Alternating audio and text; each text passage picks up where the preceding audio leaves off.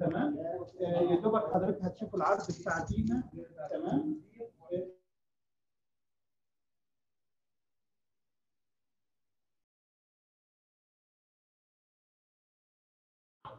آه آه هي لو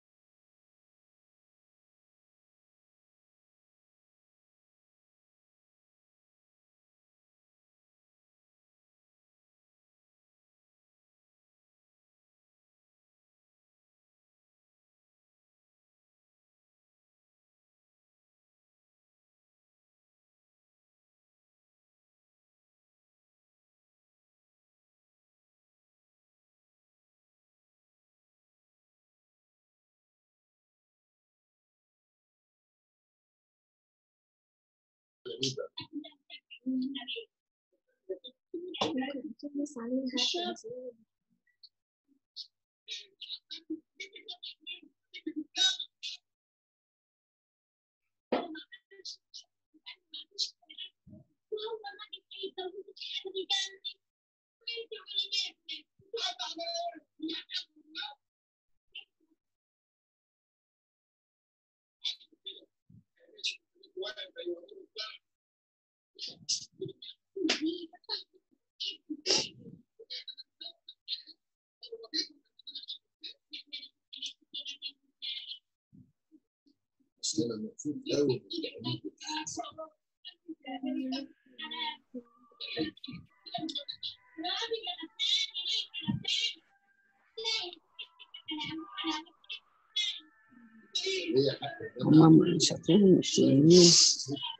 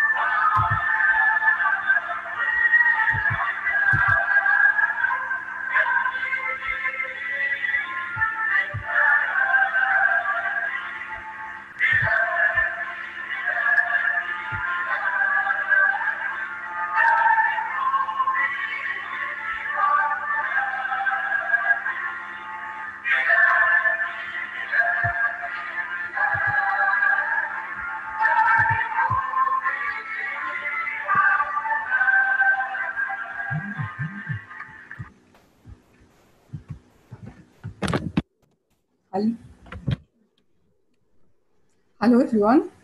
Uh, I would like I would like to welcome you in our symposium. Uh, is a voice for over for you, Professor Fukami. Uh, over for you to, to talk.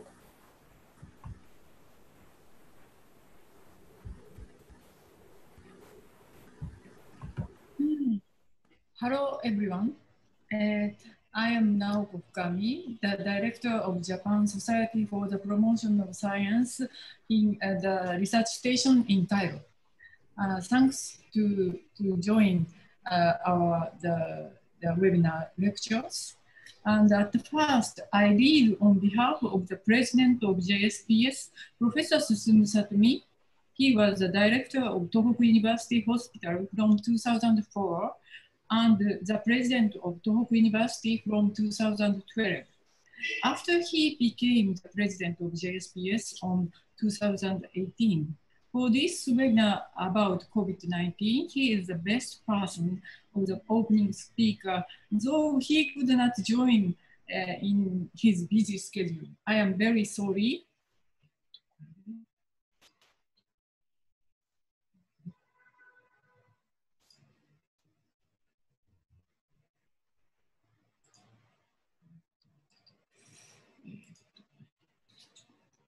Eh, so, uh, a, mo a moment, please.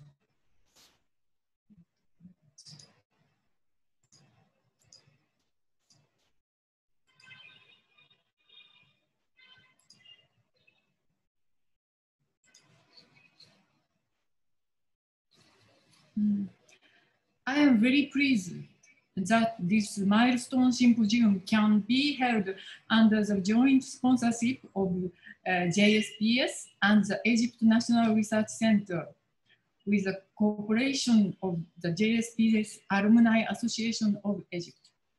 At the opening of this symposium, I would like to extend our appreciation to all of the many supporters. I would also like to uh, extend a word of thanks to invited lecturers. As you may know, uh, JSPS is Japan's core research funding agency, established in 1932 for the purpose of prom promoting science. As part of its mission to build strong networks for advancing international joint research, JSPS um, uh, has established 10 overseas offices in nine countries around the world. These offices serve as Japan's science embassies in the host countries and regions. As such, uh, they promote and facilitate scientific exchange, uh, disseminate information on scientific activities and developments on, in Japan, support uh, Japanese researchers laboring abroad, and coordinate with JSPS alumni associations among various other functions. Among our uh, overseas offices, the JSPS Cairo Research Station is one of with the longest history. The present center was established back in 1984. It serves as JSPS's core hub in the North Africa and Middle East regions. Beginning with Egypt, the Cairo office serve, serves the country by sustaining exchange uh, between them and Japan. The office employs a diverse of activities in carrying out this mission. We at the uh, JSPS will continue to work through our Cairo Research Station to sustain and develop cooperation with the related Egyptian institutions in ways that further contribute to mutual advancement of scientific exchange. I have heard uh, that the researchers from various countries, including Egypt, India, Japan, Morocco, Brazil, and the United Kingdom will deliver lectures on the topic of COVID-19 from their own perspectives to solve the current crisis. Each of us should remain extra cautious about the present COVID-19 threat posed on the global scale. Beyond that, knowledge sharing and collaboration between healthcare professionals and researchers are essential. I believe that this symposium will contribute to such efforts and provide all of you a very fruitful experience. Uh, Japan has overcome the enormous damage from the major earthquake on March 11, 2011, which was followed by the tsunami and the nuclear accident. Ever since, it has continuously fighting against the natural disasters such as torrential rain disasters and earthquakes that occur every year across the country. I hope that COVID-19 pandemic will also be beaten in the uh, foreseeable future. Lastly, I wish to extend a word of thanks uh, to Dr. Naoko Fukami, Director of the JSPS Cairo Research Station and her staff for the great effort they put into pre preparing this symposium, uh, looking forward to flourishing of scientific exchanges um, between Egypt and Japan. I extend heartfelt wishes for health and safety all attendees. Uh, at last, I want to add our feeling of gratitude to many lecturers all over the world, amongst them to Professor Dr. Mohamed Hashim, President of National Research Center, who accepted to collaborate the collaboration willingly. And I want to appreciate the effort of Dr. Wara Saad. She planned, the, planned this wonderful opportunity where many scientists think about COVID-19 together with the support of Professor Ibrahim Tantawi, the president of our alumni, and the Professor Gad Elkadi, the president of NARIAGE, and also our alumni board member. Uh, thanks for your listening, and I wish the series of webinar lectures would bring about a fruitful and meaningful approach and outcome to our new generation living with Corona, and that uh, and we believe someday in near future when we might overcome COVID-19. Thanks. Thank you. Thank you, Professor Fukami. So the, I, would, I would like to welcome Mrs. Kamiyama, Japan Embassy, the, uh, the uh, talk for you now. Hello. Hello. Would you hear? Yes, I hear you. Okay. Um, good afternoon. Professor Dr. Muhammad Hashim, President of National Research Center. Uh, Dr. Fukami, Director of Japan Society for the Promotion of Science in Cairo. Professor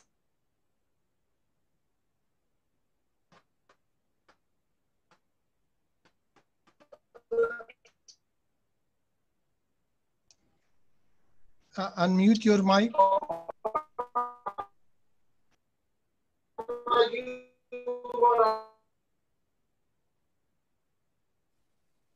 Okay. Yes? I'm sorry. So um, I was mentioning the people that contributed in a seminar. So uh, again, Professor Dr. Muhammad Hashim, Dr. Kami, and Professor Dr. of Elkhadi, President of National Research Institute of Astronomy and Geophysics, and also Professor Dr. Ibrahim Tantawi, uh, President of JSPS Alumni Association in Egypt, Dr. Warasat Hanafi, others. Distinguished professors, ladies and gentlemen, again, good afternoon. My name is Kamiyama, Director of Information and Culture Center, Embassy of Japan in Egypt. First of all, um, let me express my sincere gratitude to the cooperation of all the stakeholders to provide a valuable occasion to discuss a very timely topic amid the spread of COVID-19, causing a human security crisis worldwide. This symposium today offers us a valuable occasion where we can share our views on common interests and seek ways of cooperation. It is impossible for any single country to confront this threat and address it effectively alone. International cooperation is essential to combat COVID-19, and Japan is determined to work together with others on the premise of achieving this goal, I should stress the importance for all the countries and organizations to share information and knowledge in a free, transparent, and prompt manner.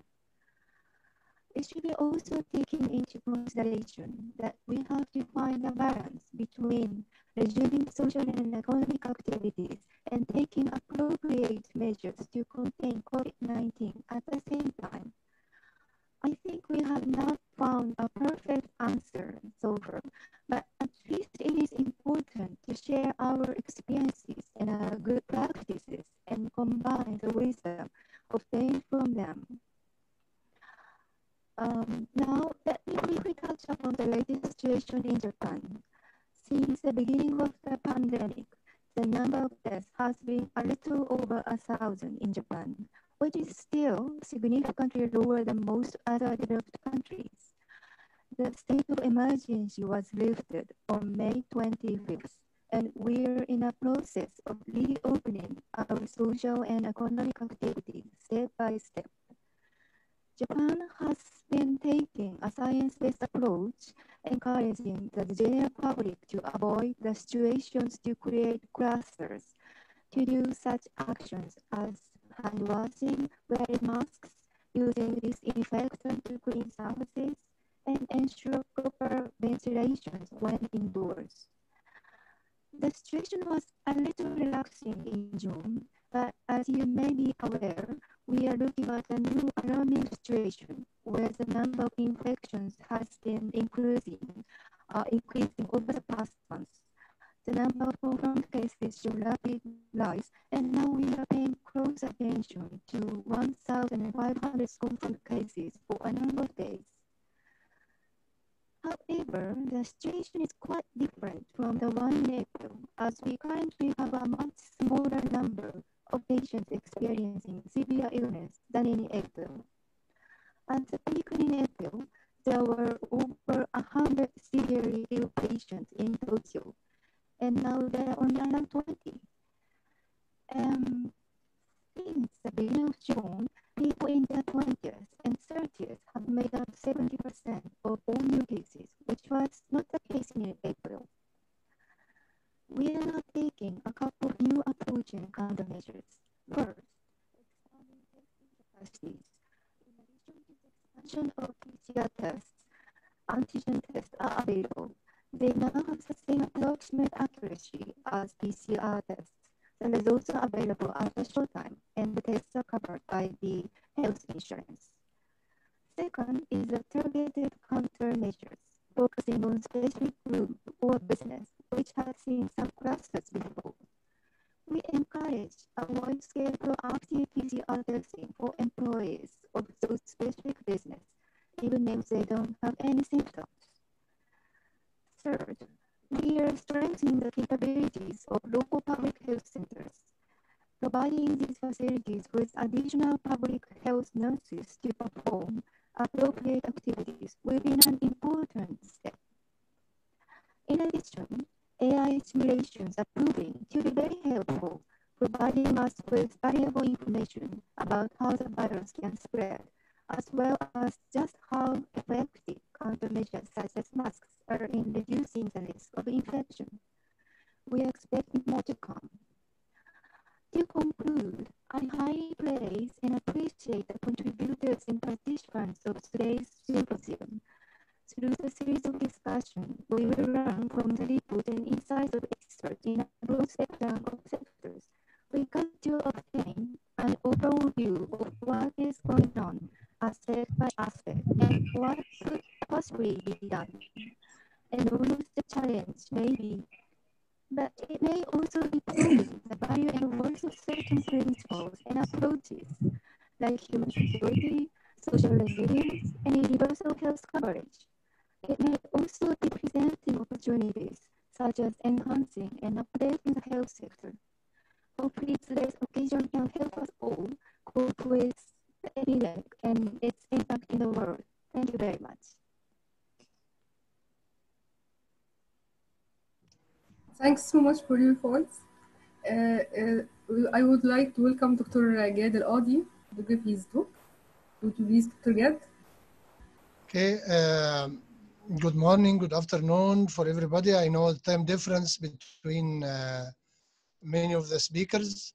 It's my pleasure to, to be here today with you giving uh, address uh, speech to this very interesting symposium. At the beginning, I would like to thank uh, Japan Site for the promotion of science for uh, allowing us to have this uh, symposium and especially Dr. Wala Saad, our, uh, coordinator of this workshop for, the, for her uh, endless effort to get all the speakers uh, worldwide and these interesting topics. First of all, you know this a very unprecedented and expect, unexpected COVID-19 pandemic uh, caused a lot of troubles worldwide for the concern of economy, of education, of science and technologies. And there was a lot of challenges how to uh, face such uh, huge and quick, very fast breeding for this uh, pandemic. Uh, started uh, in China and lasted with uh, America and a lot of countries had faced a lot of uh, victims and this toll was rising uh, every day. Uh, for the science and technology community, all of you here, and that was the idea behind this uh, symposium, how to serve our community, how to get uh, a vaccine in a very short time. I know there is a lot of efforts worldwide. Uh, a few days ago, Russia had announced that uh, they got uh, already a vaccine and now is in trial uh, basis for this COVID-19. so in, in this workshop or symposium, which will be extended for next four or five days, we'll be happy to hear from you a lot of efforts going on uh, worldwide in, the, in, in, in, this direction. However, I would like to uh, emphasize and highlight the main issues behind uh, this gathering, the challenges in science and technology. we need to address a lot of issues for health and medicine in considering, of course, as, as a science uh, the strategic uh, development goals for the United Nations. We need to consider online educations and the infrastructure for this one in different institutions worldwide. A lot of countries, even some cities, don't have uh, the internet. I would appreciate if you mute other non-speakers. Uh, again, uh, having uh, uh, international community, as all of you here today, it will be good to get close discussion as well as highlight and summary for points for action to be considered for near future in our institutions. I would not like to take a lot of time because we are almost behind the schedule. Uh, again, I would like to thank JSPS for uh, taking uh, this opportunity to consider this workshop.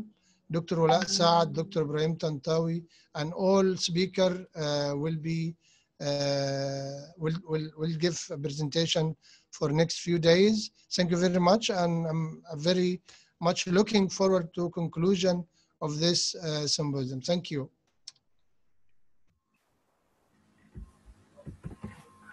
Many thanks, Dr. Ged. Thank you for your talk. we are waiting for from the National Research Center. Uh, they face some in, uh, in registration and tingling the web. So uh, if they couldn't come for saving our time, I will present the um, talk of NRC uh, till they can join the meeting. It's okay. Uh, now uh, I, I would like to welcome Dr. Ibrahim Tantawi. He he he he is us now, Dr. Ibrahim. Ibrahim, you hear me?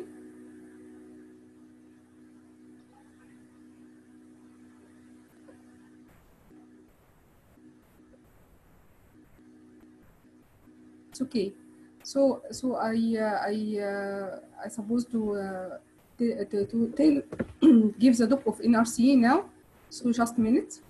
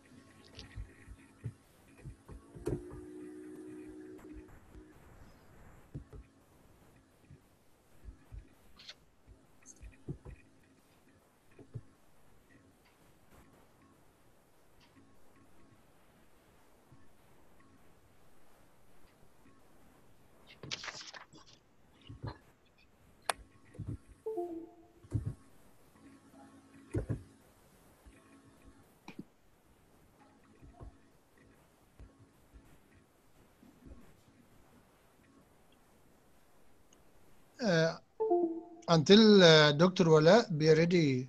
So the, the next speaker are ready for your presentation? Okay. Well, would, you- would you would you like to try uh, testing sharing the screen? Yep. Yeah. Uh, Shall you try? yes.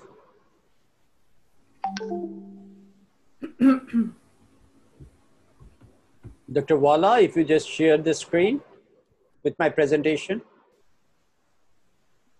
Maybe Dr. Okay. Fukami? Okay, Doctor, uh, I will share. I will give the uh, NRC uh, uh, talk and will share your presentation now.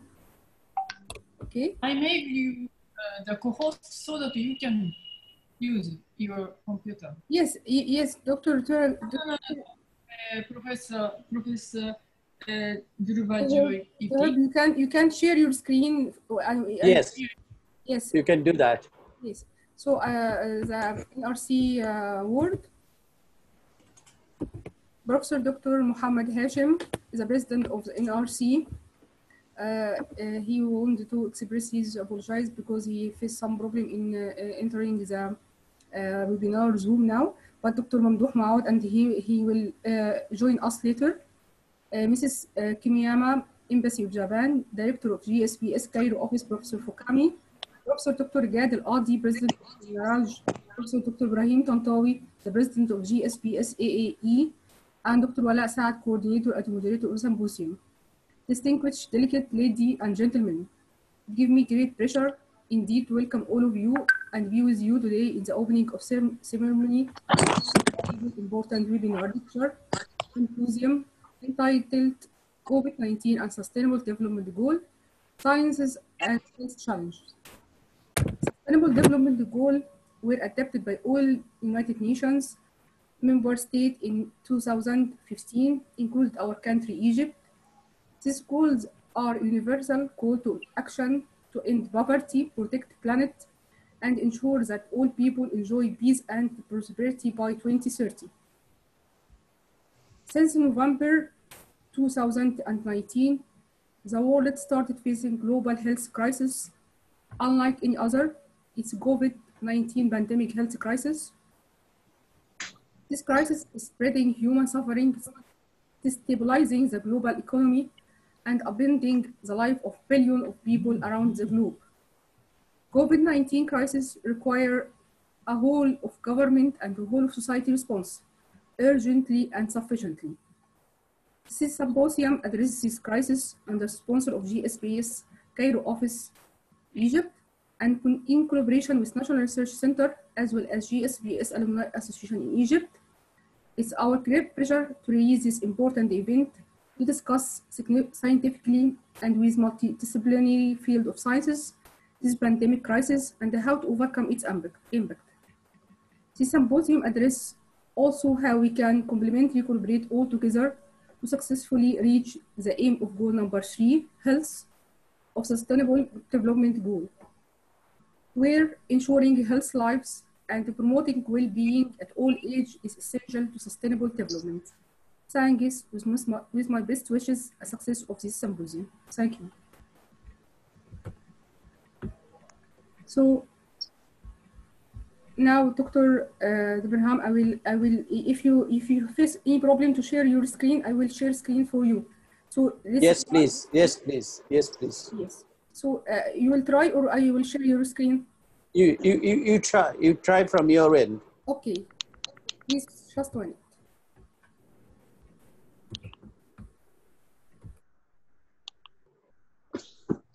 minute. So if it is my turn, let me first. Uh, Terzo. uh, Is it ready? I'm good. Yep. Just waiting. It is okay. Oh, okay. Okay. I, I want it to be very hot. I put this. Wait. This is my. Ah. Good. Okay. Hi. You. You. You submit your paper? No? When? At least uh, after tomorrow. Very soon. Yeah, yeah, yeah, yeah. Because you know the presentation. Eh, too far. Yeah. You. See you. Yeah.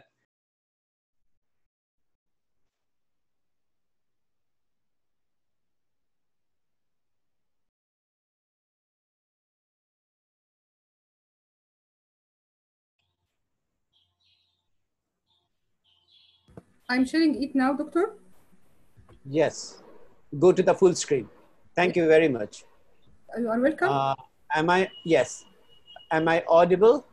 yes, sure. All right. Okay. Okay. So let me first congratulate the Dr. Walla for organizing this very interesting as well as successful seminar. So yeah, I, I shall tell you when. All right. Okay. Okay. So the okay. webinar webinar on COVID-19 and sustainable development goals. Now, this is going to be a very, very time appropriate time. And I really congratulate the organizers, National Research Center, NRC of Egypt, and Japan Society for Promotion of uh, Science, JSPS, Research Station, Cairo. I really like to uh, thank Professor Dr. Ibrahim Tantawi, the president, Dr. Fukami, the director of JSPS Cairo, Dr. Gad El the president of NRI AG, the ambassador of Japan in Egypt, and also uh, Dr. Walla. So I shall now try to start my understanding of the SARS-CoV-2 new dimensions. So I am from a university in India, uh, from Kolkata. My name of my university is Sister Nivedita University. So I shall mainly stress on the infection part. And I, in this infection part, it is becoming very, very important to find out that it will, how it is going to lead us to find out a lot of different types of researchers. Next slide. Now, virus as the first disease, say it's doing disease for a long, long period of time. But the discovery of the first human virus was done in 1908 with yellow fever virus, which dominated the world between 1901 to 1928. Discovery of the first coronavirus is the avian infectious bronchitis virus was in 1937. And still there is a controversy about the discovery of the first human coronavirus, a strain B814 in 1961. The strain is currently lost. Next slide, please. So the first person to isolate a strain of coronavirus called D229E was done by Dorothy and Dorothy Hamre, a virologist and infectious disease researcher at the University of Chicago Department of Medicine in 1966. Then in June, in June Almeida, working at the Britain's Common Cold Research Unit in Salisbury, they first produced the first image of the virus in 1967. From that time onwards, there are seven different human coronavirus species exist today. And you know, the last one is actually the one which is now the reason for the pandemic, SARS-CoV-2. Next slide. Now, as this particular COVID-19, you can see that this coronavirus disease, which in 2019 is a pandemic caused by severe acute respiratory syndrome, coronavirus 2, also called SARS-CoV-2. And you can see that it affects the lung, trachea, bronchial, and ultimately the alveoli. And if you look at the healthy alveoli, you can see that it is almost empty with, it's very important to find out the different types of exchanges takes place over here. Once it's infected, you can see that the virus starts accumulating in the alveoli. And then in the moderate infection, you can see this alveoli is partly filled up with the fluid. And when it is a severe case, you can see the whole alveoli is completely filled up with this. Next.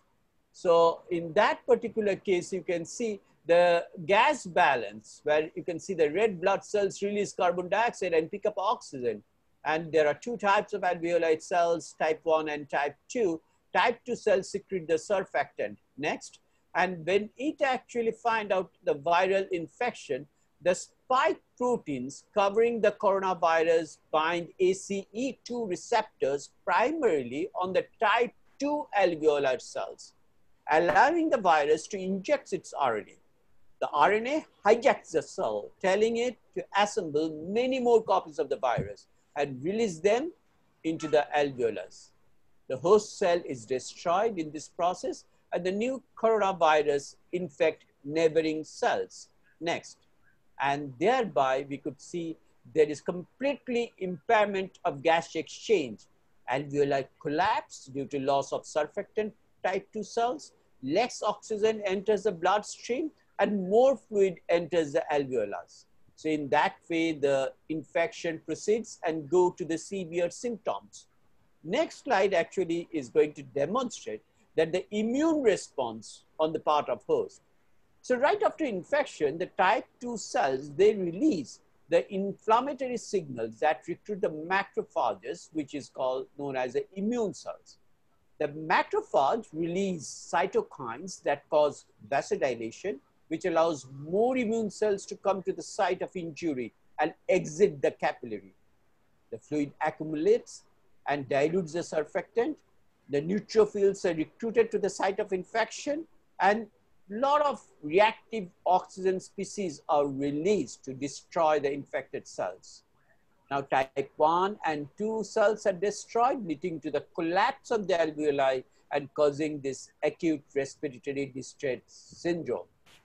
But if the inflammation becomes severe, the protein-rich fluid can enter the bloodstream and travel elsewhere in the body, causing systemic inflammatory response syndrome, SIRS, SIRS. And the SIRS may lead to septic shock and multi-organ failure, which can have fatal but at, to reach that particular stage, it is very difficult. And that's why we could see the mortality is very, very less. But if we can actually arrest the viral infection before this will not go up to the death stage. Next slide. But it's very interesting to find out that COVID-19, it discriminates age, gender, immune system fitness, the pre-existing diseases, and the epigenetic factors. So I shall discuss now a little bit about these things. Next slide. Next slide.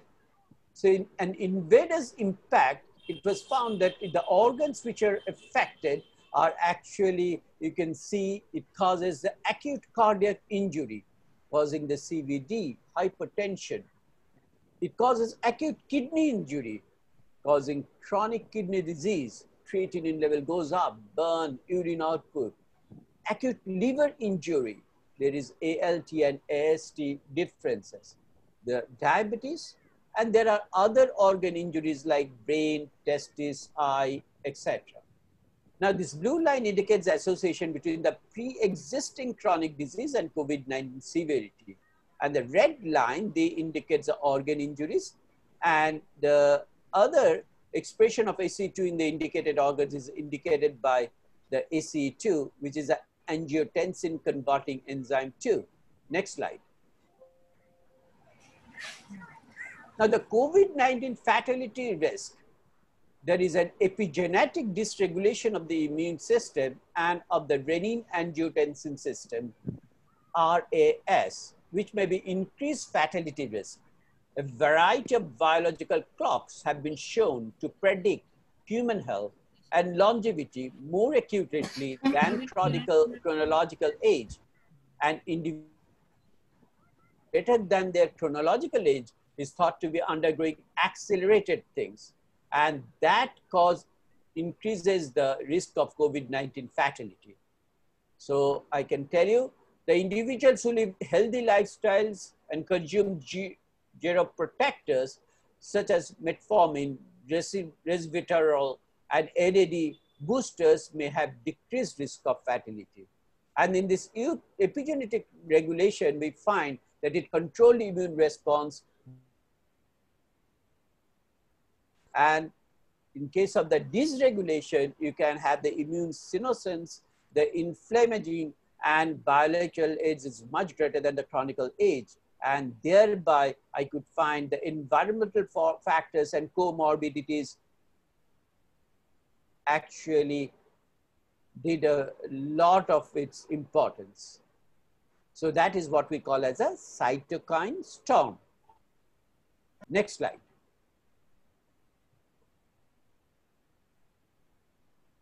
Now this epigenetic mechanism in SARS-CoV-2 susceptibility, this is a uh, cartoon which says the expression of the ACE2 gene and the interferon gene depends on the methylation rate of the CPG islands in the DNA promoter sequence.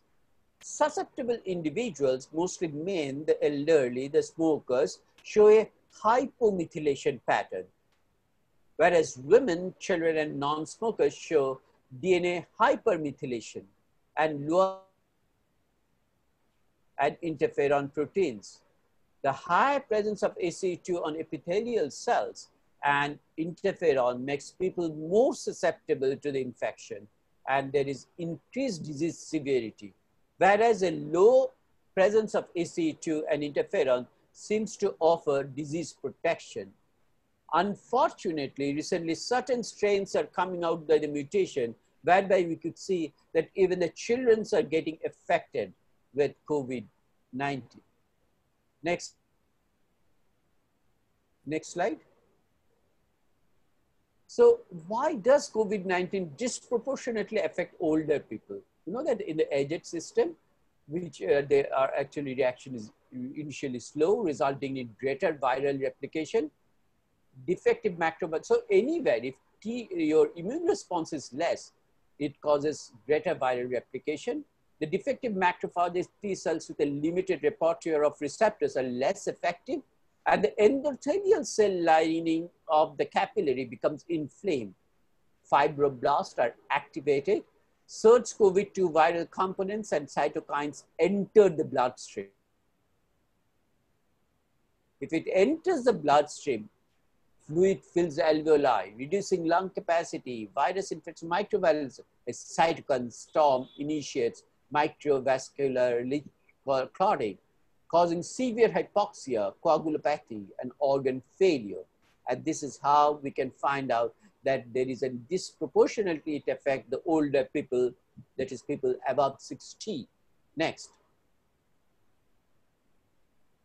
Now, uh, I, I shall not go farther on this. Uh, there are many other reports are coming that the IgG galactosylation and many other immune systems in the uh, age-related changes, which are also uh, maybe the cause for increased COVID-19 susceptibility. Next slide. Next slide. So the chronology of events, if we look at, we can see that after the SARS-CoV-2 infects the cells, expressing the surface receptors angiotensin converting enzyme, and another, what is called a TMPRSS2, the active replication and release of virus causes the host cell to undergo pyroptosis and release the damage-associated molecular patterns, including ATP, nucleic acid, and ASC oligomers. Now, these are recognized by the neighboring epithelial cells, endothelial cells, and alveolar macrophages, triggering the generation of pro-inflammatory cytokines and chemokines like IL-6, IP-10, macrophage inflammatory protein, 1-alpha, beta, MCP1. This protein attract the monocytes, macrophages and T cells to the site of infection, promoting further inflammation with the addition of interferon gamma produced by T cells and establishing a pro-inflammatory feedback loop. Next slide.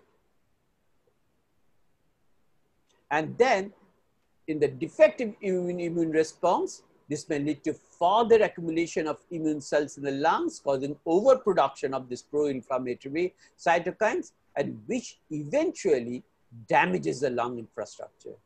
The resulting cytokine storm circulates to other organs, leading to multi-organ damage, and thereby causing the death.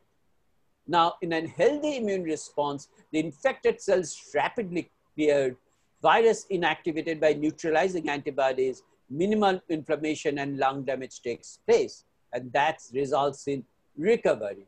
Next. Next slide. Now, if we, if we consider the pathological inflammation in patients with COVID-19, you can see that as I mentioned to you, the alveolar epithelial cells, the CCL to CCL7, they are going to the activated endothelium or delayed type 1 interferon response, they go to the interferon receptors, or GM-CSF, this actually also activates the JAK-STAT pathway. So we call this is as an activated C T cell as well as the role of the cells, natural killer cells. And this JAK-STAT pathway is actually going to ultimately um, causing the oxidative stress and NF-kappa B inflammatory genes with all different types of protein kinases and monocyte-derived inflammatory macrophage. And thereby the cytokine storm where overproduction of IL-6, TNF, IL-8, IL-10, 6, CL10, IL-1RA are causing the cytokine storm and ultimately the patient's death. Next.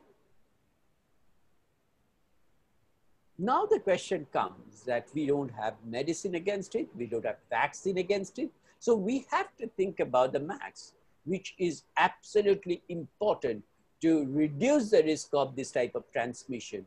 Because if you know the particle size, 110, 1.1, if, an, if you are infected asymptomatic, infected asymptomatic. That means you are infected, you have the viral replicating, but your immune system is such that it can combat with it.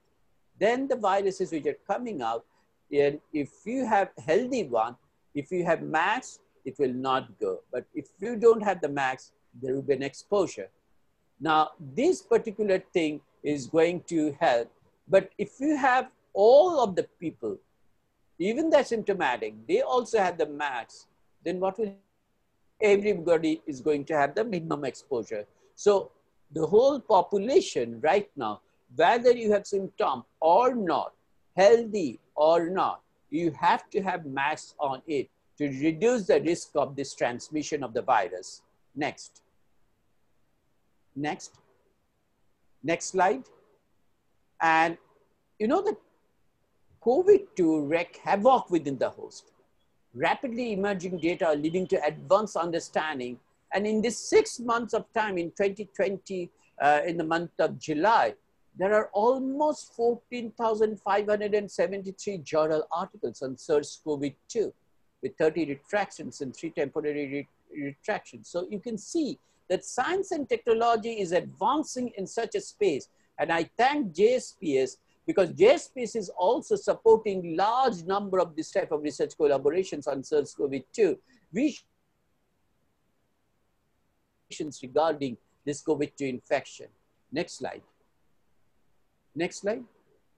So this is one particular paper I find is very important and in the recently the cell published it. It is a global proteomics of phosphorylation and abundance changes of SARS-CoV-2. It was found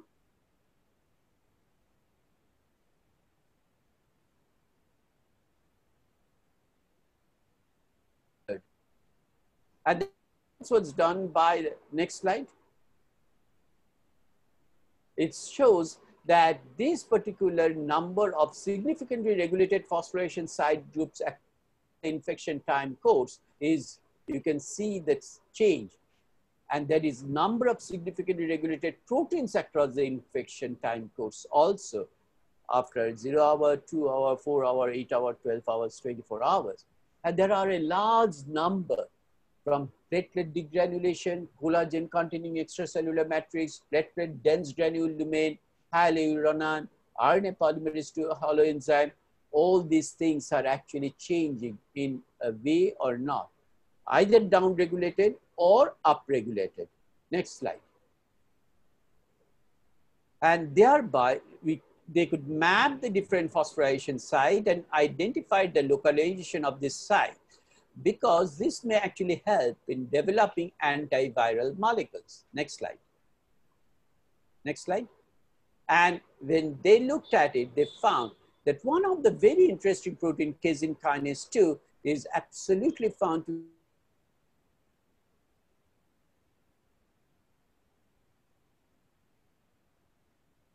the, the end protein is also been mapped with the crystal structure and it is also possible to find out how this phosphorylation changes. Next slide. Next slide. And there are 332 human proteins which gets altered. And there are a lot of clusters of significantly changing phosphorylation sites across the time course of infection with non-redundant enriched reactome pathway terms shown for each cluster. And thereby, we can say that the signaling changes in host cells SARS-CoV-2 infection is really becoming very, very important. Next slide. Next slide. And that changes, you can see that overall phosphorylation change of a protein complex, how actually you can see the Pearson correlation, where you can see minus one to one from deep blue to deep red, you can see the distribution of the different protein molecules over here in the uh, site, which has got the complex and the complex phosphorylation pattern is actually helping us to identify very, very important antiviral things. Next. Next, next slide. And it's very interesting to find out that the casein kinase 2, if you remember I'm mentioning to you, the casein kinase 2 and the viral proteins at actin protrusions are co-localized and that could be done by very nice experiments in the CACO2 cells. And hereby it is possible to demonstrate that actin and this casein kinase 2, which gets phosphorylated, are actually getting associated with each other. And this co-localization throughout the infected cells uh, infection process is a very interesting fi finding. Next slide. Next slide. It is also interesting to find out that SARS-CoV-2 causes cell cycle arrest.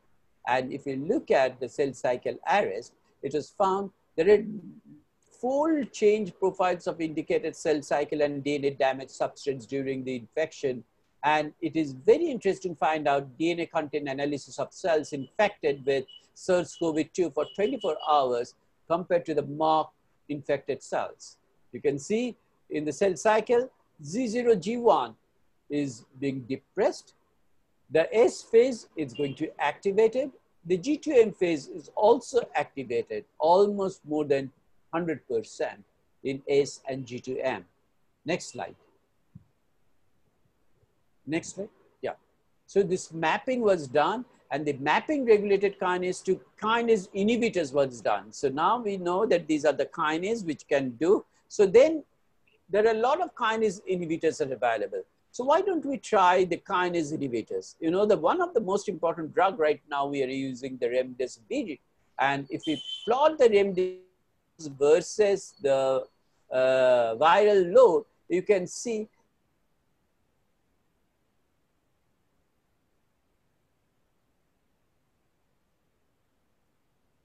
very uh, sharply down more than one micromolar. So one micromolar, more than one micromolar, where the cell viability is not affected, but the viral load is going to be affected, is one of the reasons why people are trying with remdesivir. Other than that, the been also been used, but it was found it is also have a lot of effect on the cell viability. So it is not a very good one. Next slide. Next slide. So in that way, it was found the apilimode, denaxicillib, all these actually being utilized right now to find out the active finance that's anti. It's very interesting to find out that cell viability is not affected, but apilimode, even 0.01 micromolar is very effective. In case of the um, uh, it is greater than 0.1, but so apilimode is another drug right now people are thinking about how to utilize this. Next. Next. And this is a very interesting paper which is right now in the pre-proof thing. So it's not yet published that there is an increase in plasma cells in both COVID-19 and the 47 IAV, avian influenza A virus patients. XAF1, TNF, and FAS-induced T-cell apoptosis was found in COVID-19. STAT1 and IRF3 signaling pathways activated in COVID-19 versus a STAT3 and NF-kappa B in IAV patients. So they studied the comparison between the two and there are a lot of interesting observations that are coming out and been going to be published in a very important journal called Immunity. Next slide. Next slide. Now, the, uh, uh, uh, there are certain breakthroughs regarding the vaccine. And you know that number of, as mentioned already, that Russians are claiming they are already being testing a vaccine, which is actually may come out. Uh, but besides that, we know this Oxford vaccine trial and the vaccine trial in US and China, they are, many of them actually reached the phase three. And here the New England Journal, which actually announced about the mRNA vaccine against SARS-CoV-2, and then recently in the Lancet paper in the last uh, week, uh, you have a lot of other important things which are coming up. So next slide. Next slide. And it's what's a risk you can find out that there is a greatest concern for the world at the economic, at the societal, at the geopolitical, the technological, on the environmental, and everywhere it is affecting. So we have to get how actually to combat this particular demon. And that is why research and parallelly our knowledge is becoming very, very important. Next. Uh, the one previous to this. So previous to this, previous slide, please. Previous slide, please. But over here, I want to, it's a global phenomena, the COVID stigma, the racial stigma, blaming community for the current situation, the violence against the health workers. All of these things we have to fight. We have to fight being kind to the affected individuals. We have to depend on facts and not rumors. We have to spread the awareness regarding the do's and don'ts as endorsed by our health workers. And also, very important is providing mental health care. And thereby, I shall go to my last slide where I just like to say, next slide. Every problem makes us creative. Every challenge offers opportunity. Let us be resourceful and cater to the demands of humanity. Stay safe, stay home, stop coronavirus, stay positive. I shall give first use thanks to the healthcare workers on the front line in this coronavirus pandemic. I shall give thanks to JSPS and the organizers and specifically Dr. Walla and the faculty members, as well as all the people who are attending, all these 26 people who are participating in this seminar so far. So thank you very much. Thank you. Thank you so much, uh, dear uh, Chancellor. It's a very interesting uh, lecture and very interesting slides. Thank you so much. So uh, any of um, attendants have any questions, you can uh, have 10 minutes to, to questions and answer. So please, um, anyone have question, let me raise your hand and uh, I will accept the questions. Okay, Yes. No questions? It's okay. Thank I, I have I have a question. uh, uh, you talk about um, the viral load and the amount of viral um, uh, amount of virus enter the body. So so so that is um, um, many many many many uh, many uh, healthy health provider doctors or uh, nurses or many uh, a lot of many uh, doctors infected with um, virus get more um, severe symptoms and more uh, deteriorated of health um, uh, More exposure. Yes, because the, the virus load amount of virus enter uh, is a body. So uh, so uh, is this state uh, still uh, uh, occurrent with mild symptoms and sign for uh, uh, virus, or is still as um, severe as uh, first uh, presented uh, on March um, 2020? Yeah. So as I, as, as I mentioned to you, this is actually determined by the R0 factor. And in this particular case, COVID-19 was found to be more infectious. So less number of virus is sufficient to infect a person. But the person's reaction to that is also very interesting. Depends on his immune system, depends on his epigenetic clusters, and all the other different factors I mentioned to you that without any comorbidity or anything else.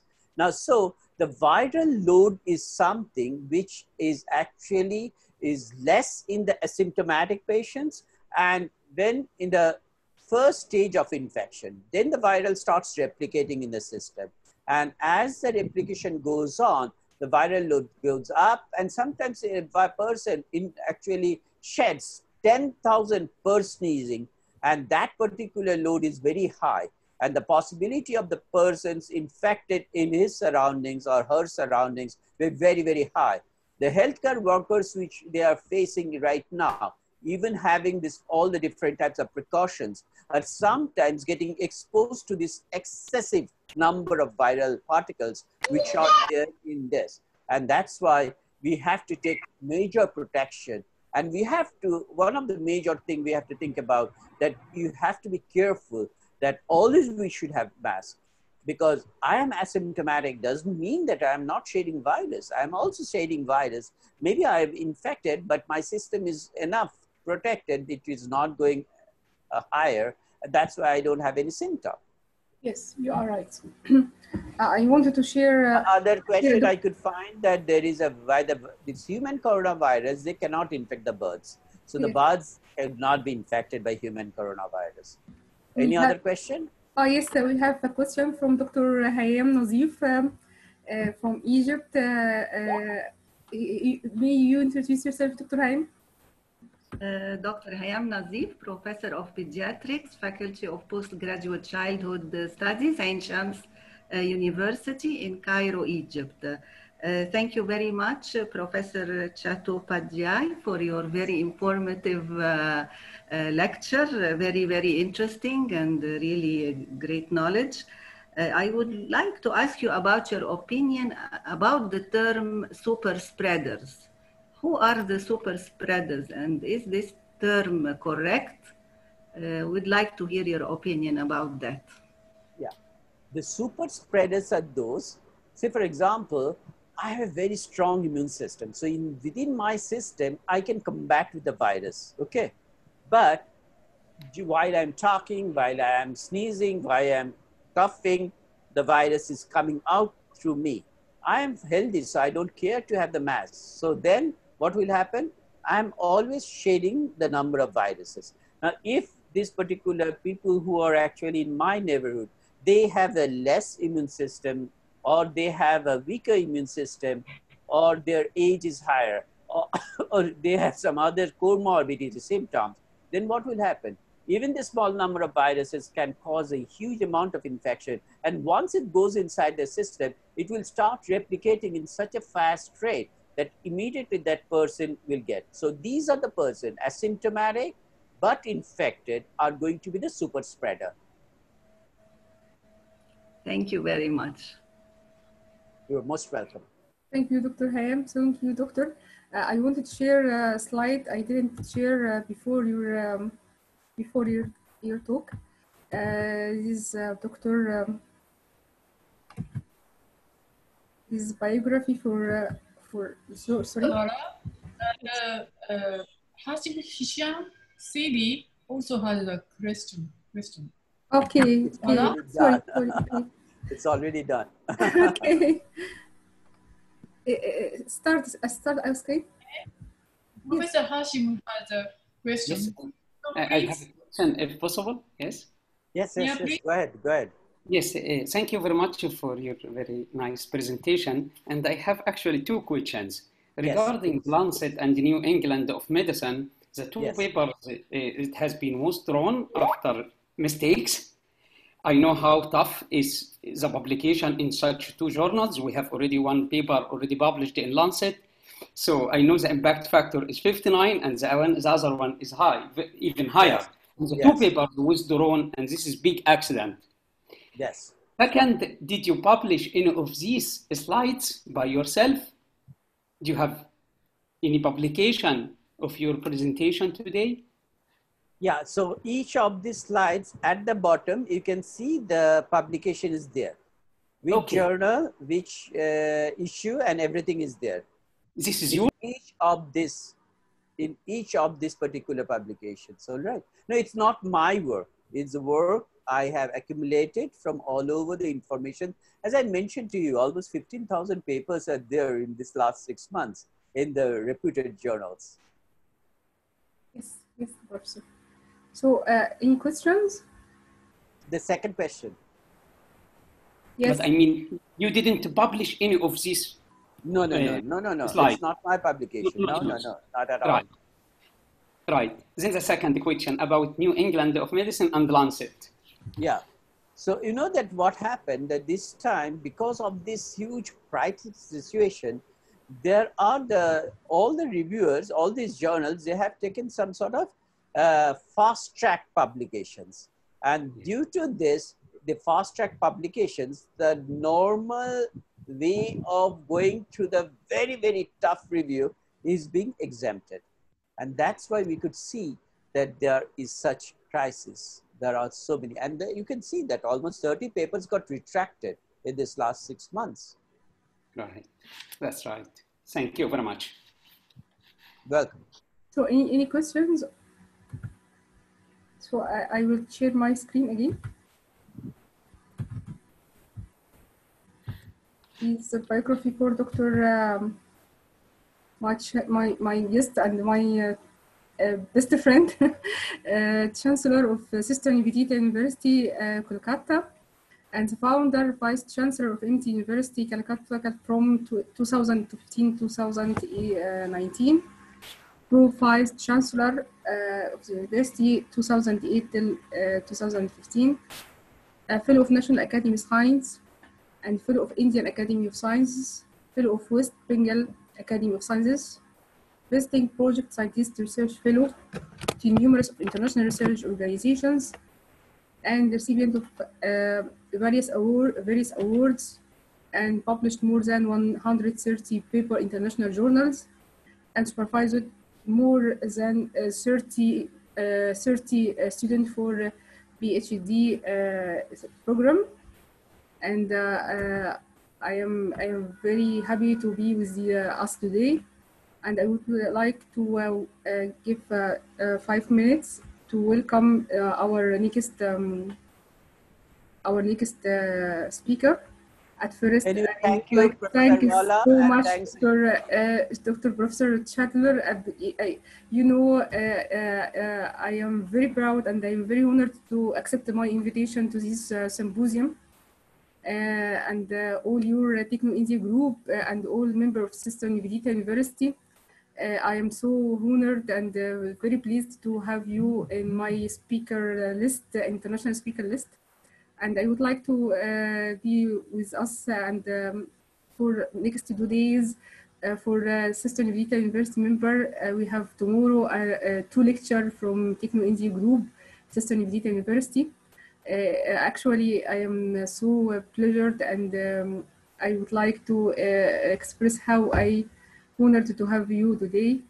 Uh, and we have another lecture in the third day from uh, Director of uh, International Global Affairs and Relations, Professor Dr. Shumali. So I am so, I would like to thank you so much and stay with us. I will introduce our next speaker.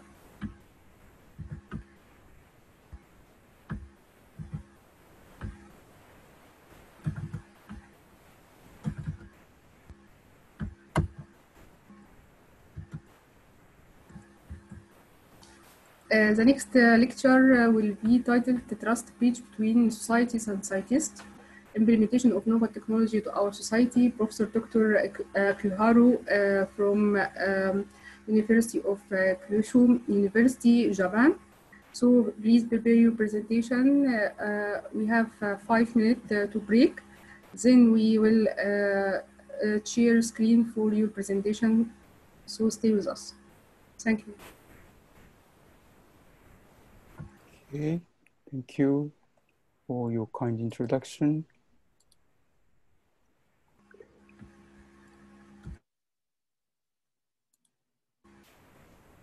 Can you hear me? Yes, sure. Okay. Can you see my screen? Okay, your first slide. Yes, sure. Yes, we could see. Okay, thank you very much. Okay, to let me start my presentation. Okay.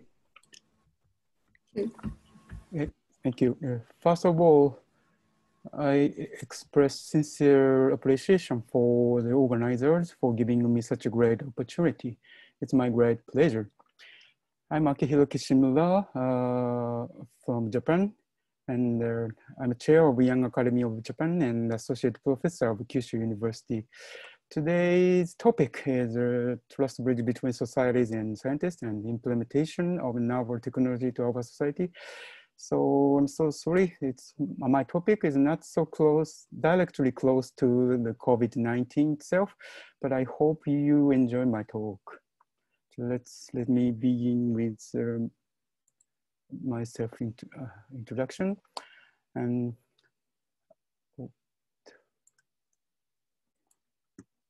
okay. My university is located in Fukuoka. Uh, Fukuoka is the uh, north part of Kyushu Island that is located in the uh, west, uh, east-west part of Japan. And I think the, my city is a kind of gateway to Asian many Asian countries. It's really close to other Asian countries compared to capital city Tokyo. Here is my, believe, introduction.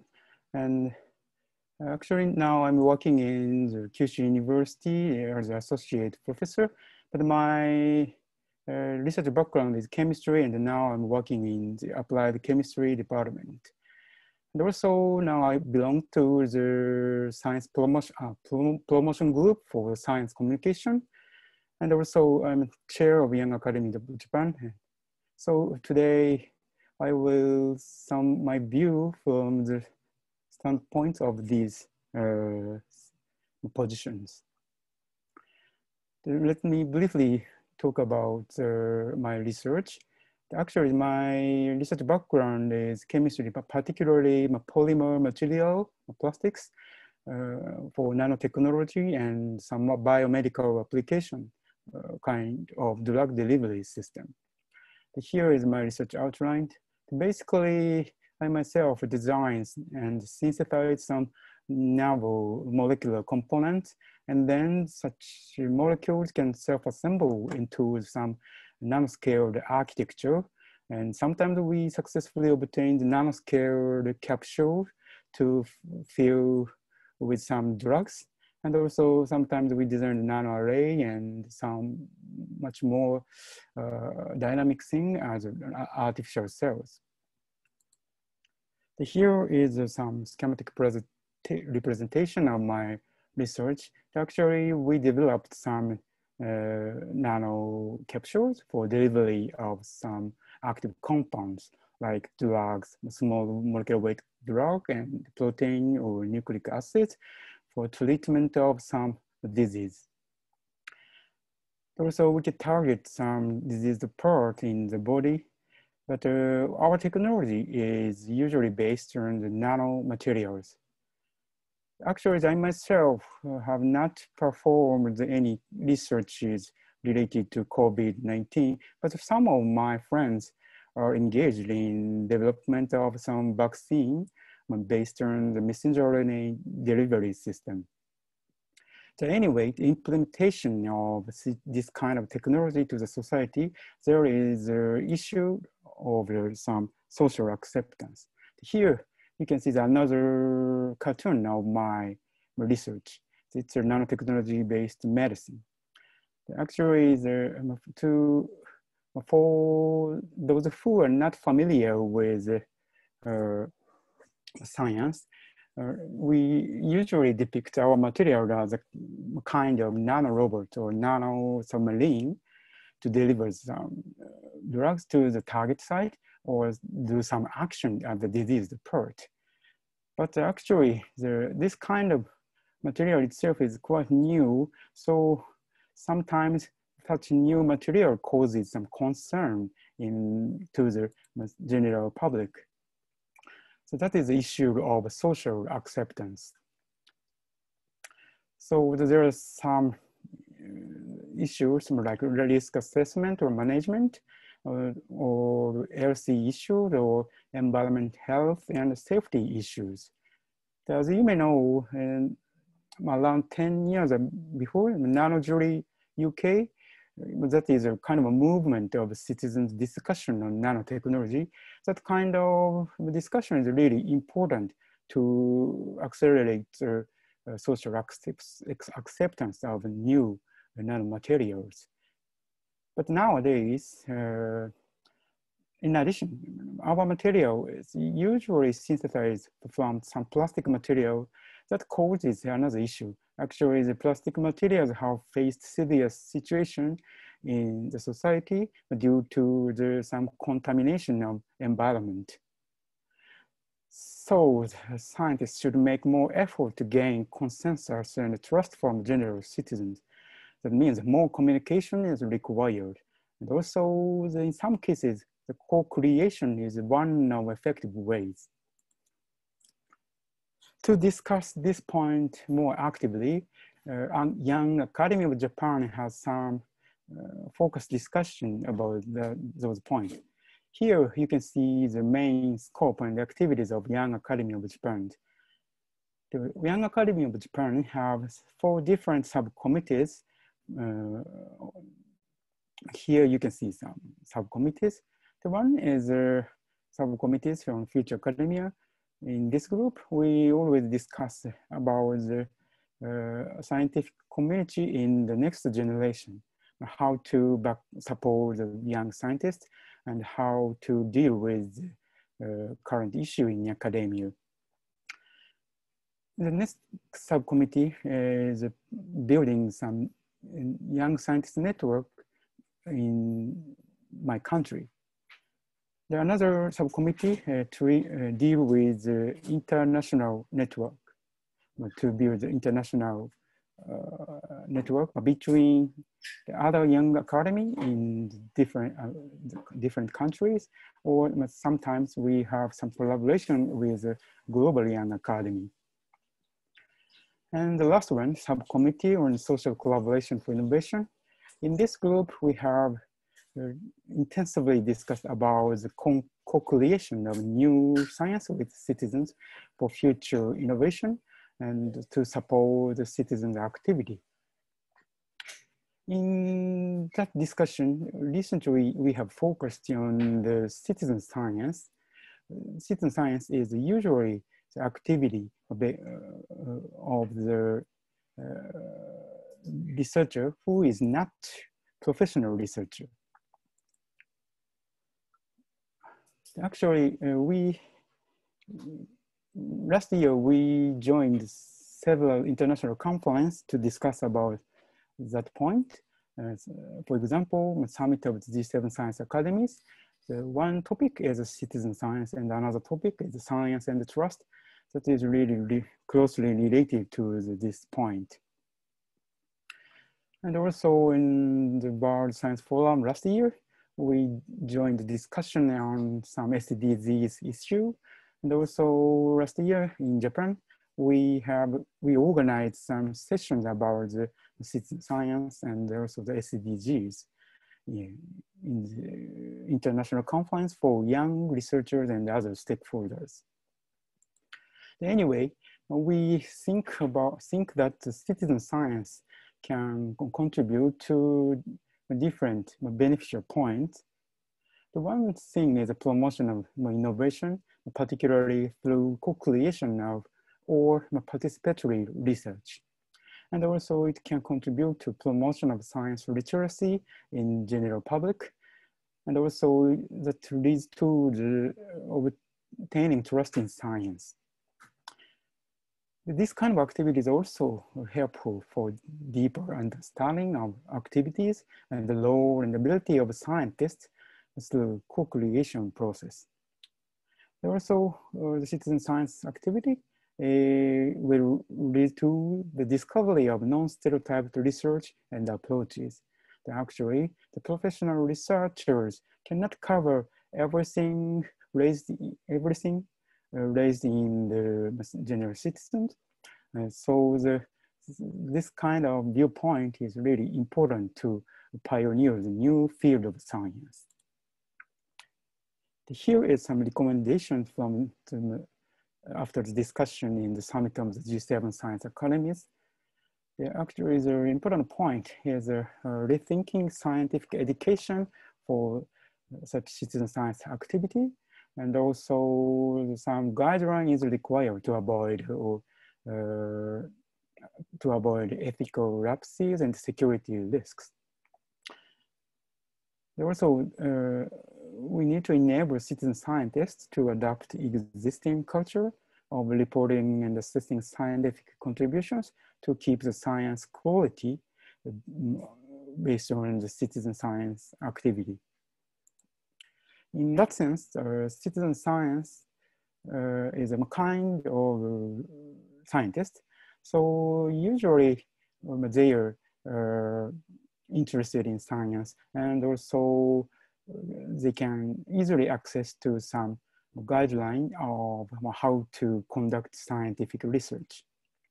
But uh, in the current situation, COVID-19 situation, I think it's a kind of participatory research situation.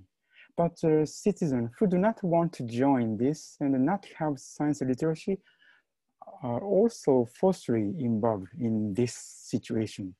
So I think the kind attendant to this kind of activity is required for these kind of people.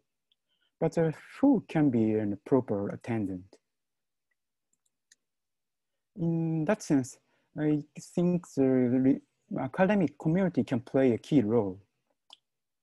Actually, the citizens have usually have some societal issues like COVID issues or other uh, infectious disease or also other uh, more, more public uh, issues in the societies. But usually they ask something for the local government, but in some cases, uh, local government uh, solve some issues to give, actually they can give a solution to back to the citizens. But sometimes uh, to solve the issues, uh, they need some expert knowledge or some skills to overcome the situation. But uh, actually, there is no effective channel to such experts or academic researchers at this stage in Japan. So I think the, uh, our scientist community provide proper opportunity to empower the citizens activity and support their uh, uh, solving the issues. For that purpose, we need give some opportunity for open discussion and also uh, how this is interactive communication is really important. So not one way outreach activity is effective. So uh, scientist community should provide more open and fair opportunity for science. That means uh, citizens can participate in the scientific research. Here's a typical concept of a science shop that was proposed by some researcher, of course in Japan and also in some other countries. So this concept is uh, uh, is depicted in this scheme. It's a kind of cycle and the users uh, raise some issues to the science shop and science shop is a kind of coordinator to actually the coordinator uh, professional partner researcher in the university or the research institute. And then in the next stage, the science shop sets some collaborative activities opportunity. And finally, they can get some research outcome. That should be open to the society and also it's, uh, it is a return to the users.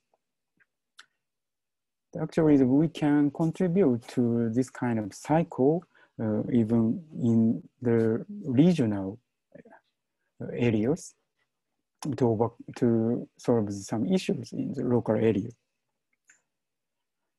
I think that uh, another uh, potential, potentially useful uh, uh candidate is a uh, public institute like science museums. Here is some example of the activity of National Museum of Emerging Science and Innovation uh, in Japan, Tokyo. And it is called Miraikan in Japanese.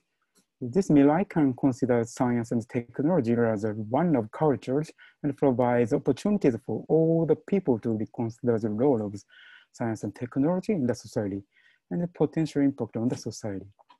They uh, actually provide a unique opportunity to the uh, visitors to this science museum actually like um, uh, is open. There's some opinion bank. This is a computer-based questionnaire for visitors to Miraikan.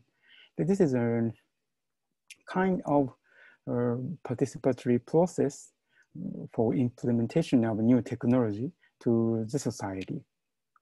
The another opportunity is a dialogue with dialogue uh, between general citizen and professional scientist. Here is an example of a discussion about the novel nanotechnology-based medicine. So the, this guy and this guy is my friends, and they also this they have some active discussion over that point. Actually, the researchers can this is a good opportunity for researchers to directly hear the opinion for and impression from general public about their technologies. And sometimes, but uh, no, no, usually the scientists have uh, optimistic and really brilliant future image, goal image, but uh, sometimes uh, general public doesn't think so. actually, the future goal is different between the researchers and the citizens. For example, these researchers think about the, the technology, kind of nanomedicine, uh, can work uh, without any direction of human beings. That means uh, automatically cure the disease. But uh, some citizens doesn't like don't like such behavior.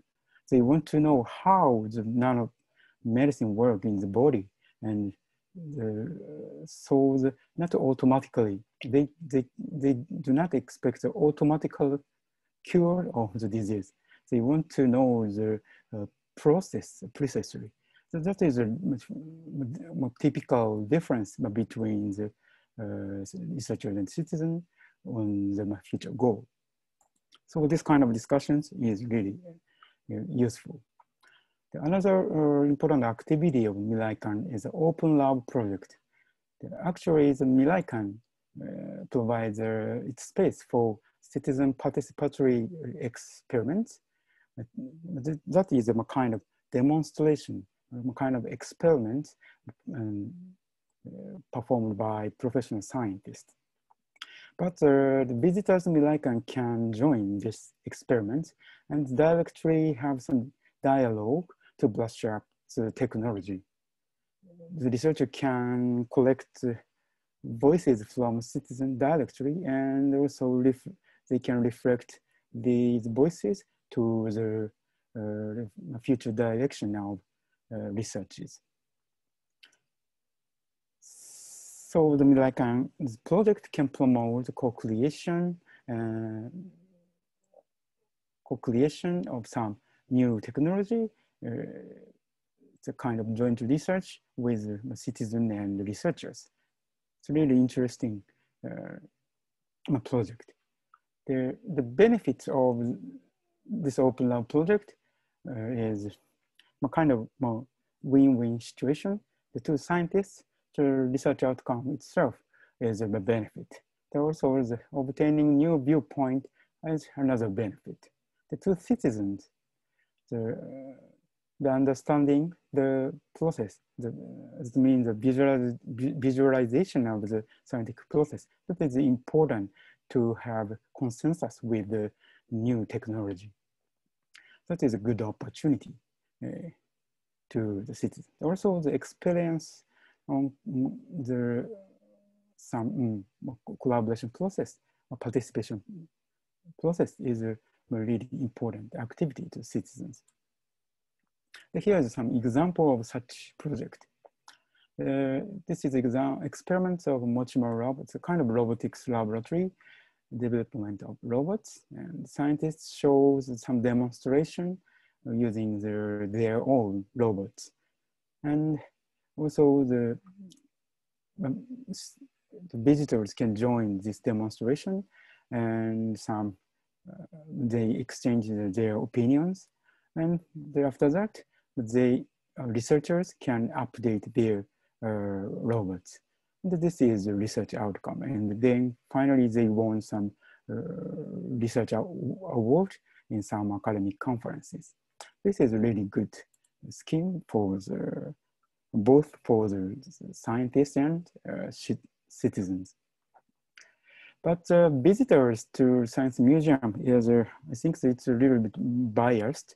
Actually, the most of visitors is uh, really familiar with science and also interested in science uh, activity. But uh, to overcome that point, I think kind of more public institutes like public library is useful to provide such opportunities. As you may know, New York Public Library is a hub of knowledge for innovation. They support some novel business and also uh, their motto is library for the people. Also in Japan, this kind of trend is really hot and uh, some public museums uh, support library for solving the societal issues. And also sometimes they support the business and also the, to solve the uh, academic, to solve the societal issues using the some uh, academic uh, academic collaboration, actually they can introduce some researchers in that local area. But that is a good example for the collaboration of or utilization of uh, scientific community and such public uh, institute. The another issue uh, is inclusiveness. Actually, the, the assistive technology for disabled people, uh, one, here is just one example. The, actually, the assistive technology for disabled people can be developed by researchers having disabilities. As you may know, uh, she is a, a researcher in the area of accessibility her name is uh, Chieko Asakawa. She's an IBM fellow and also the professor in the Carnegie Mellon University in, in United States.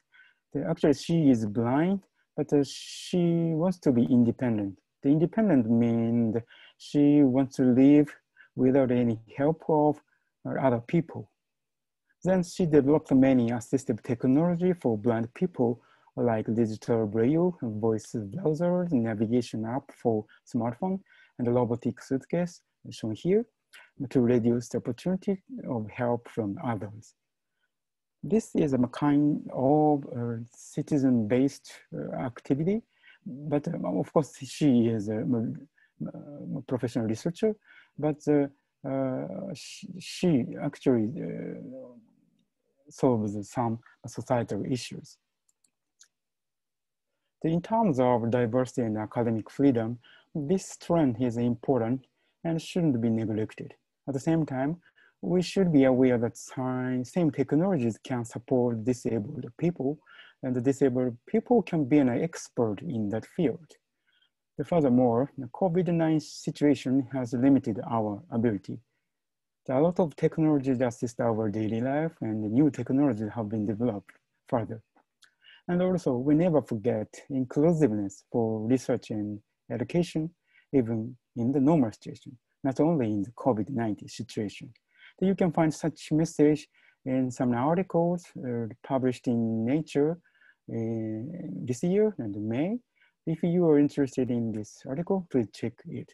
She can uh, uh show some uh, message to the society. Another example is the Institute of Ars Vivendi in Ritsumeikan University of Japan. And in their institute, they uh, encourage to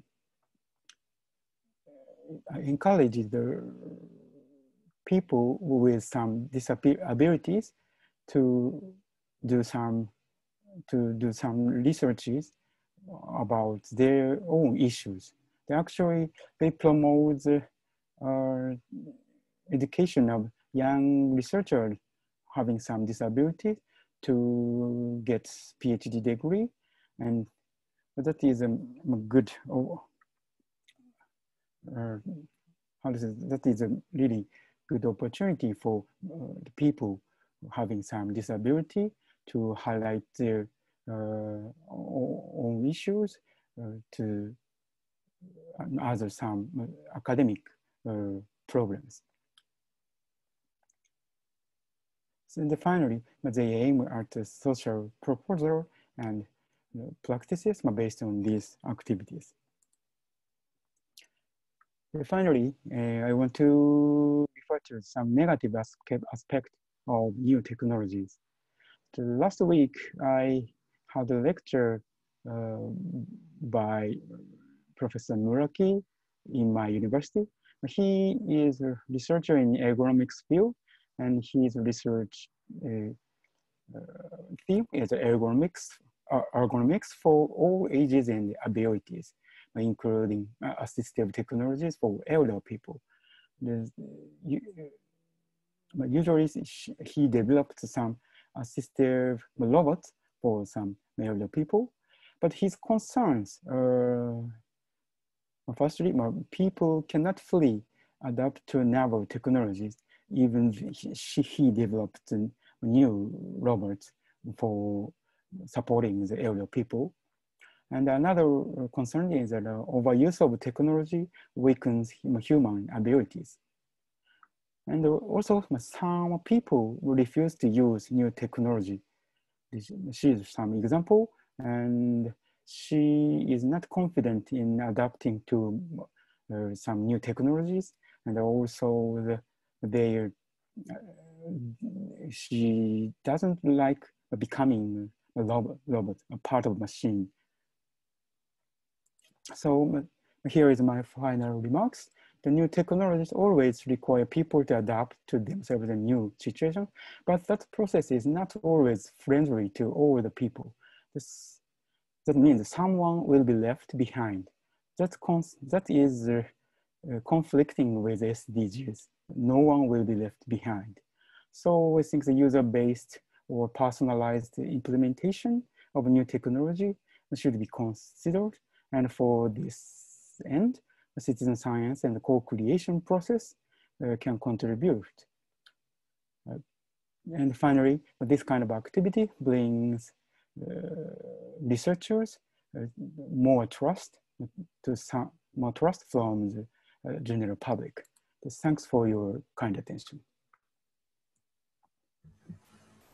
Thank you so much, dear professor, for this uh, uh, nice uh, lecture about Global Young Academy and the uh, offers and uh, uh, activity you offered about your society.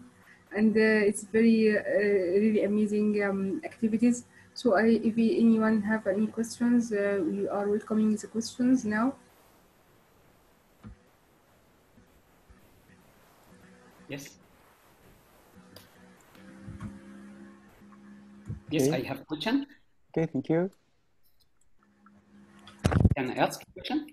Yes, sure. Okay, okay, Dr. Hisham, would you please? Yes, it is really very interesting lecture, informative, and the slides are really attractive and very well expressing your subject. Uh, since you are working in nanotechnology mm -hmm. as one of the application, my question regarding uh, uh, some trials of chloroquine, the alkaloid compound, which has been tried for uh, treating COVID-19 and the other derivatives. As you know, these alkaloids has been isolated from Cinchona officinalis. Do you think that if we treat such a compound with silver nitrate or with gold to have nanoparticles, it could be useful treatment mm -hmm. from your point of view? Mm Yes, I think so. So actually, we can design some nanoparticles to deliver some, how to say, the chemically clear compounds. Yes. So, mm, yeah, yeah, I think so. So you think this could be a good idea? Yeah, but I'm not sure about that uh, alkaloids. So, right. Yeah. Because as you know, chemical usually, structure. Yeah.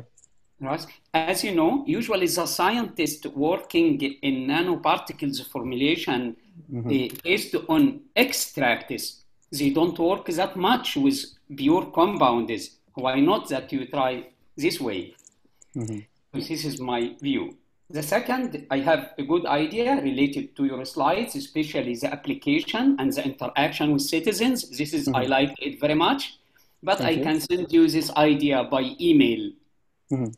And it can be good collaboration between my group in Sweden and yours as well, if you like. But I can Oh. send it to you by email. Oh, thank you very much. Okay, I'm really interested in that. Thank you. Yeah, thank you. I'm looking forward to seeing your email. Sure. Thank you, Professor Hisham. Thank you. Any questions? It's okay. We have uh, five minutes for break. Then we welcome uh, our another uh, next speaker. So please, uh, can you stop sharing the, your screen, dear professor? Okay, thank you very much. You are welcome. Thank you so much. Thank you. We have five minute break. Then we will uh, welcome uh, our next speaker, uh, Professor Dr. Martin. Uh, and you can share your screen now if you if you please. Hello, Professor Martin. Yeah, I hear you. Just Okay. let me. You can prepare your uh, slide for the next uh, for the next talk. I will share my screen now about uh, your biography. Till you prepare your um, your talk.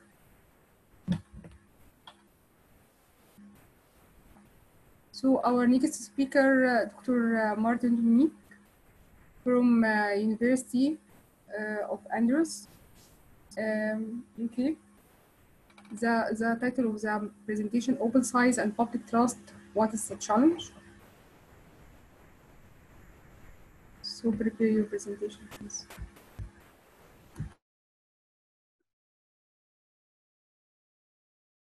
You have to unshare your screen before I can share mine.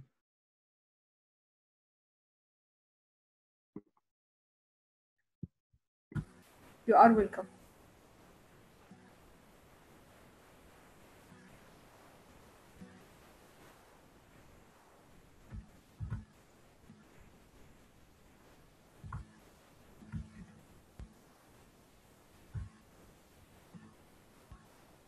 Just let me know when I should start. Okay, you can start now. Please. Okay.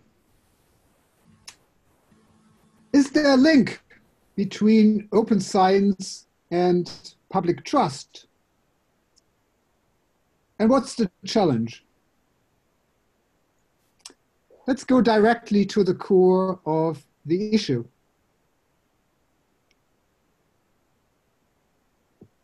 Sausage. Which sausage would you eat? The one whose ingredients you know, or the one whose ingredients you don't know? Which one conveys trust? How can you make a good choice? Was it right to state that laws like sausages cease to inspire respect in proportion as we know how they are made, which is frequently wrongly attributed to Otto von Bismarck, but is actually from American lawyer and poet John Godfrey Saxe? Or is it the exact opposite?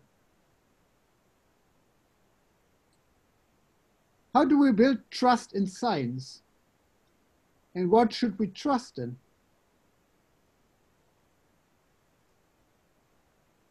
Can we trust science because it is peer reviewed?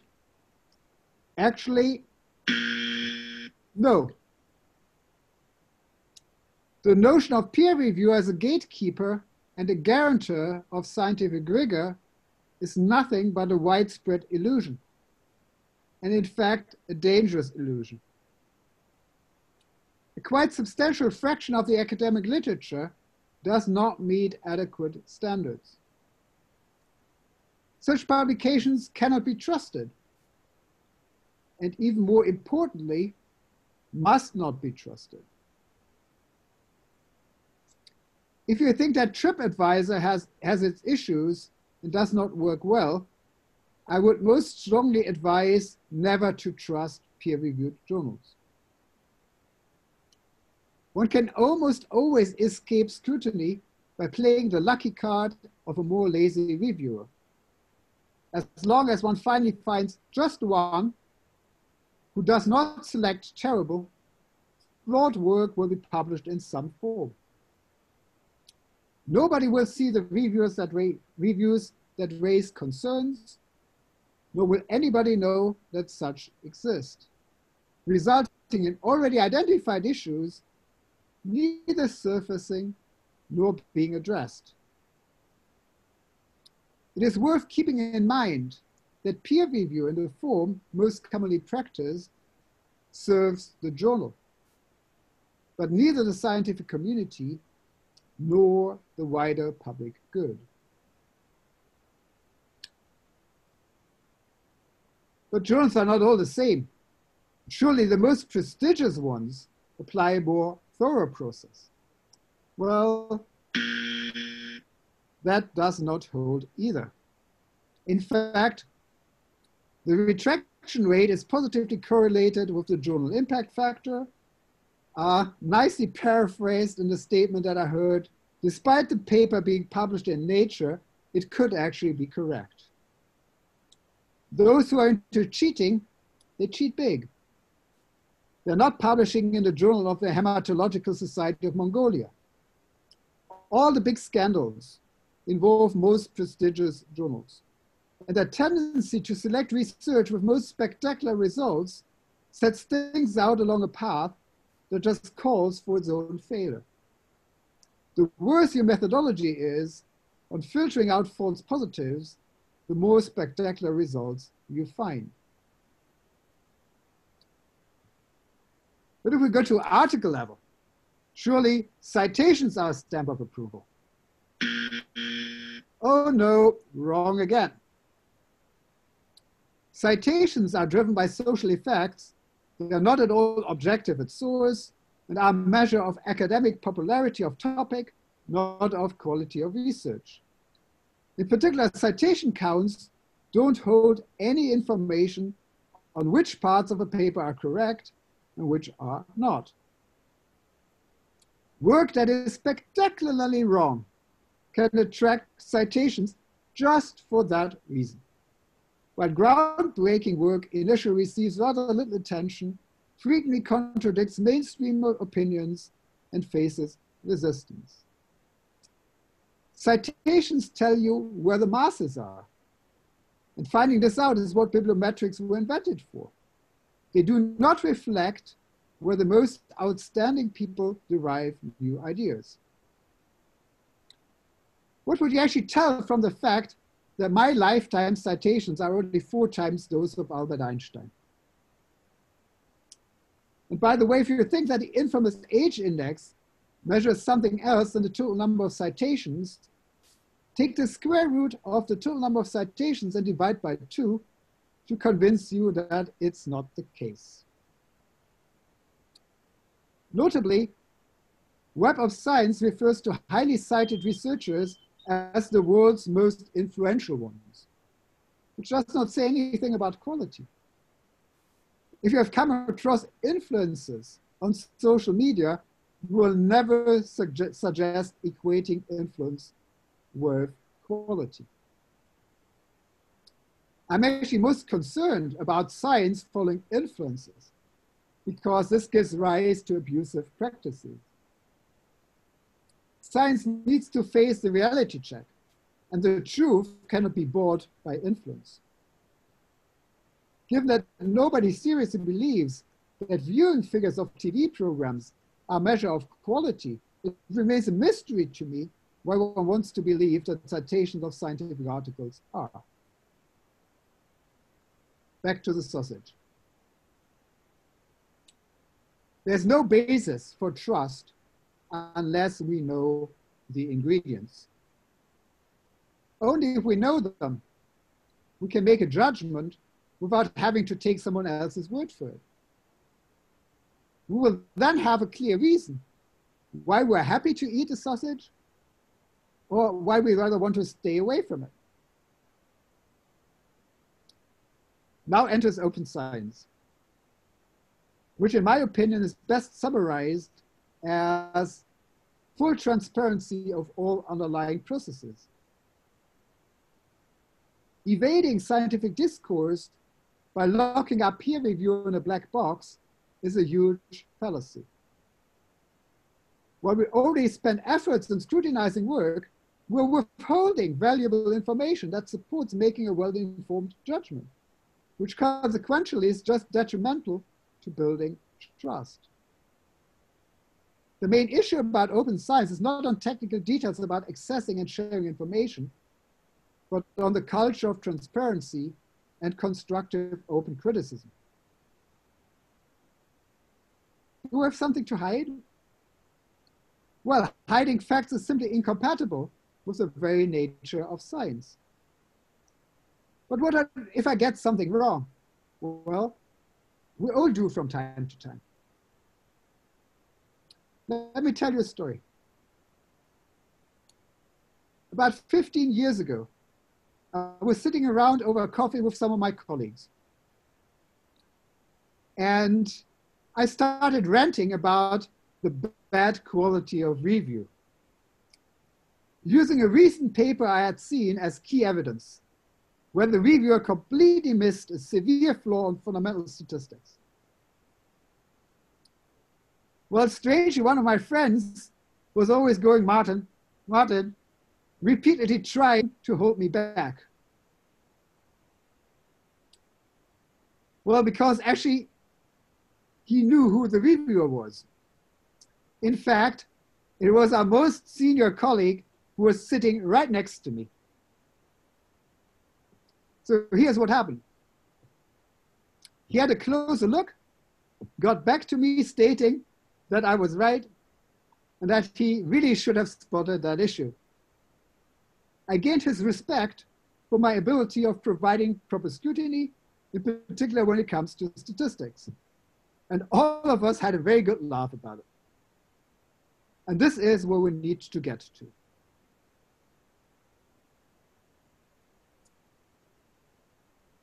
But even if there is transparency, it does not help building trust if the recipient does not understand what you're talking about.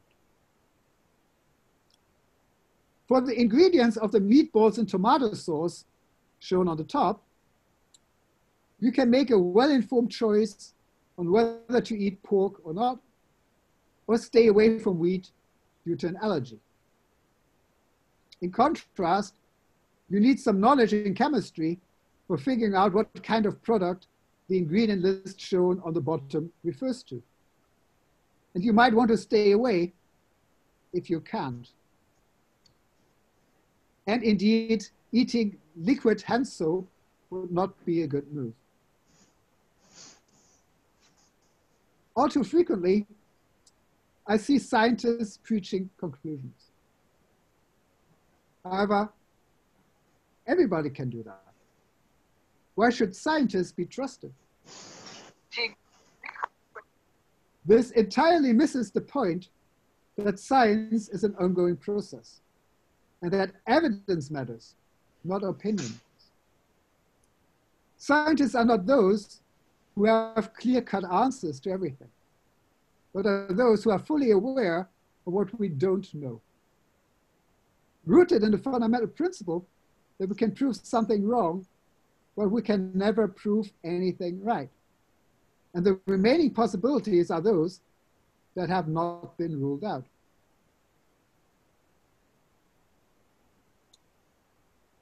If we want to proceed fast and actually in the right direction, we should take care not to miss any shortcuts where we should avoid any lengthy detours.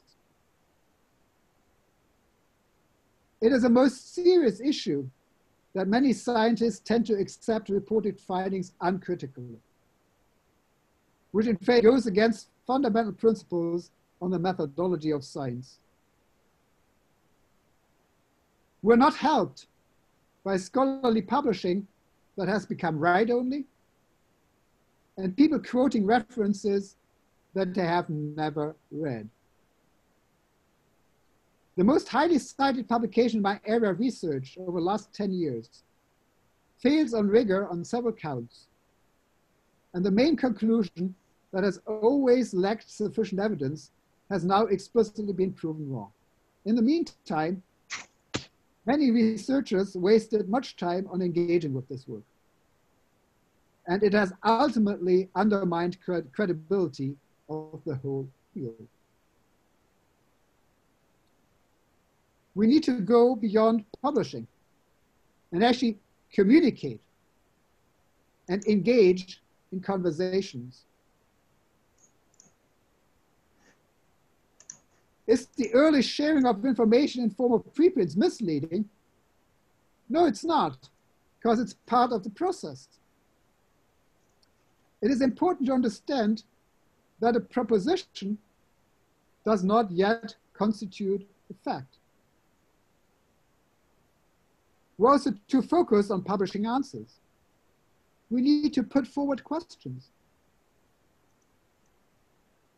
We also need to make efficient use of our collective power in a shared endeavor and explore many directions, avoiding, avoiding getting stuck in dogmata. I would never buy a roadmap that shows only a single road. Recognizing the benefits of using modern technology for sharing information is not a new concept at all. Uh, the Central Bureau of Astronomical Telegrams established a global mechanism in 1882. Combined with open critiquing, this not only supports a much faster process, but also one that controls quality more robustly. Thank you very much.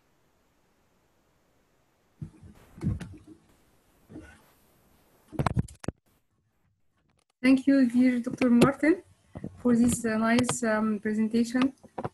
Uh, yes, uh, you are right. Yes, you are right. Uh, open science is very important for uh, global um, research sciences, and it's very important to do uh, know the leave wide gap between science and societies and uh, between scientific uh, research and each other. So I welcome any question if you uh, if you anyone have any question for Dr. Martin. Would you please um, I ask for any questions?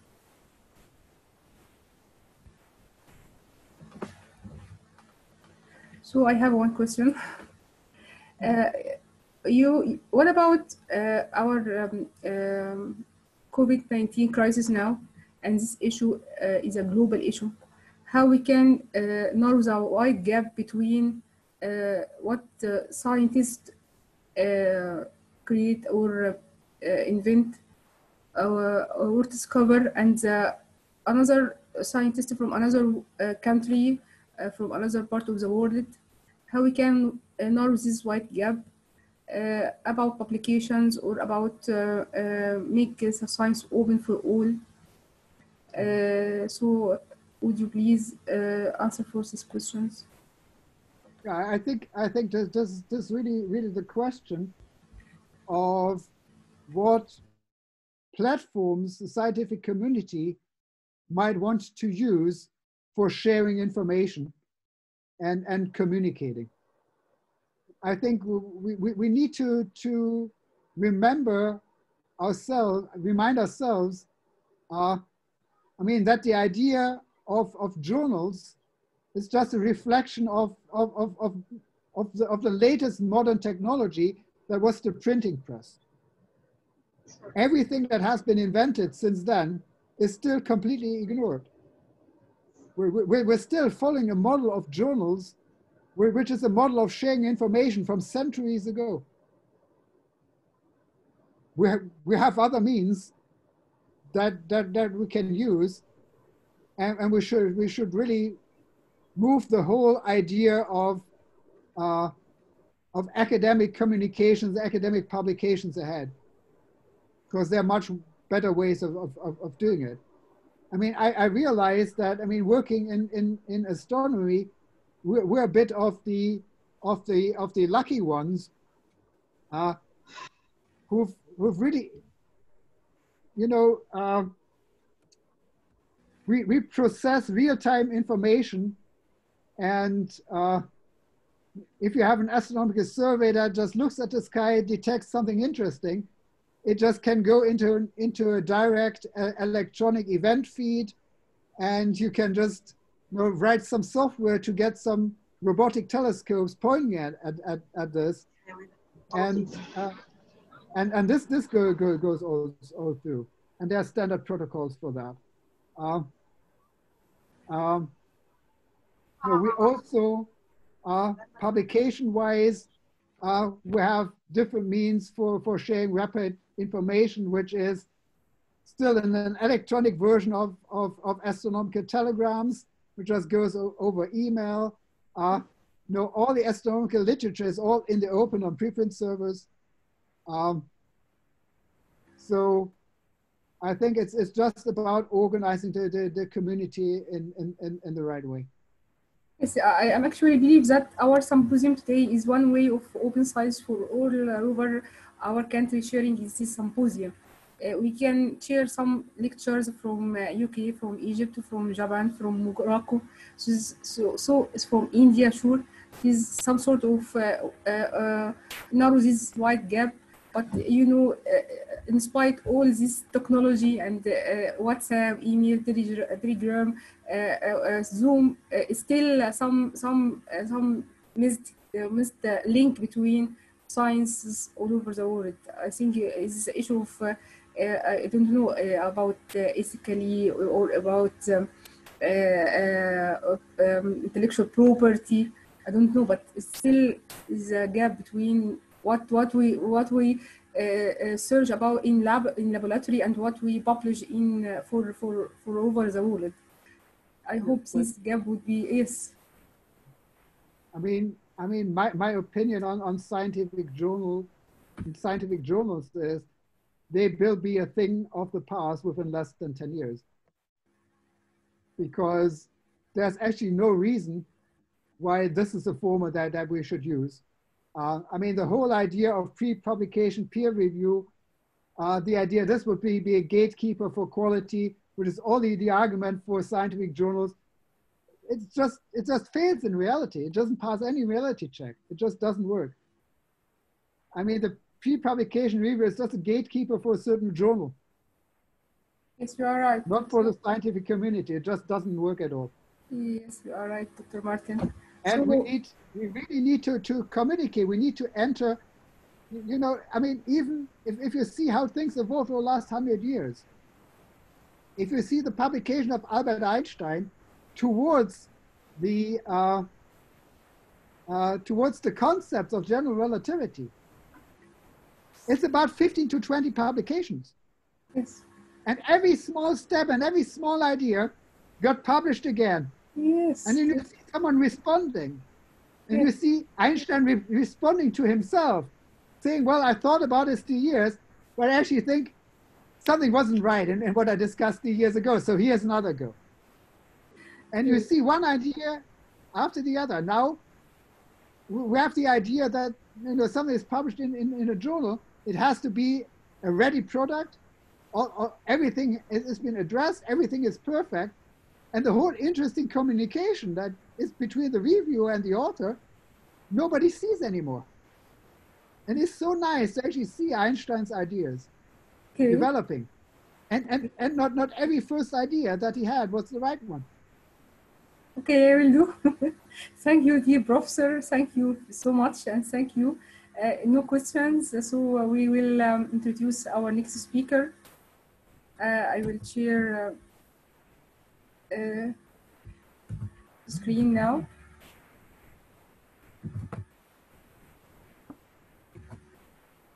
We have uh, five, no, we have five minute uh, break. So uh, Dr. Ilham Abedi from Morocco, uh, she can, uh, you are with us now. We can, uh, you can prepare your presentation. Okay. Uh, so uh, you are a researcher from bio in biological science and environment. Uh, she had engineering degree of uh, economic and veterinary institute. Uh, Dr. Ilham uh, uh, from Morocco, and she is currently preparing her PhD with University of Muhammad First Morocco. She is fully member of Organization of Women in Science uh, in Developing World. She is working as a consultant uh, of council in Council of uh, Equity, Equality and Equal Opportunity Morocco, and she is the president of Association of Sustainable Arch- Architecture Culture. So uh, let us uh, welcome Dr. Ilham. Uh, if you find any problem to share your screen, I can share uh, I can share your presentation from mine. But please share your screen now.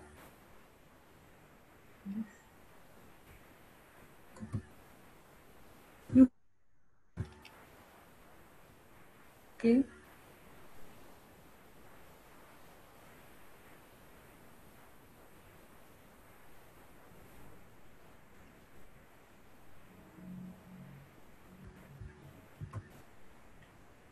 Hello, everybody. Thank you, Dr. Wala, uh, for your kind presentation.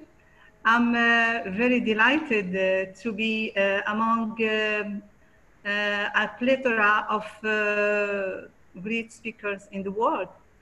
And I take this uh, precious opportunity uh, to congratulate and to consider the, all the members of organizing uh, committee especially Dr. Wala Saad and Dr. Naoko. I'm pleasured in this difficult uh, and harsh uh, condition of coronavirus pandemic to contribute with you uh, in this wonderful and important scientific event by a topic titled Challenges Facing Agricultural Cooperative at the Age of Coronavirus and Beyond. So first of all, I would like to share with you some statistical uh, data about geography and demography of Morocco. As you see, uh, the Kingdom of Morocco is situated on the northwest tip of Africa with the Atlantic Ocean on one coast and the Mediterranean on the other. Morocco is easily accessible. It is only 14 kilometers away from Europe across the Straits of Gibraltar. Morocco covers an area of uh, seven, 700,011 square kilometers with 3,500 kilometers of coastline. The weather is mostly the, uh, Mediterranean, but is uh, it's became more arid and desertic in the deep uh, south. Uh, in this illustration, you can see the Moroccan population is increasing. It is estimated at nearly 37 million of people, uh, of people with uh, five, uh, 15.1% on female on female according to United Nations data. Yet, the yearly population growth rate uh, is decreasing. However, the median age in Morocco is 30 years. We can note also that 62.5% of the population is urban. What about agricultural sector in Morocco? The agricultural sector contributes with 20% uh, to the national GDP. It employs over than uh, 4 million people, including about uh, 100 100,000 in agro-industry. The sector is directly responsible for the food security of nearly 37 million consumers. This reaffirms the critical role that agriculture plays in the economical and social stability of our country. This uh, role uh, is uh, developed due or thanks to the relevant strategy which have been adopted by the Ministry of Agriculture. The first one is Green Morocco Plan, focused on two pillars. Pillar one, accelerating development of a modern and competitive agriculture throughout the realization of a thousand new projects with high added value in both production and uh, agri-food. The second pillar, improving the living conditions of the small farmers and fighting poverty in rural areas by raising agricultural income in the most vulnerable areas, as well as promoting solidarity farming through the launching of a hundred of women farmers cooperatives throughout Morocco. Another uh, strategy is uh, Moroccan Generation Green. It is also based on two main pillars, enhancing the human elements by promoting the emergence of a new generation of agricultural middle class and encouraging a new generation of young entrepreneurship entrepreneurs by creation of 3,500 uh, jobs.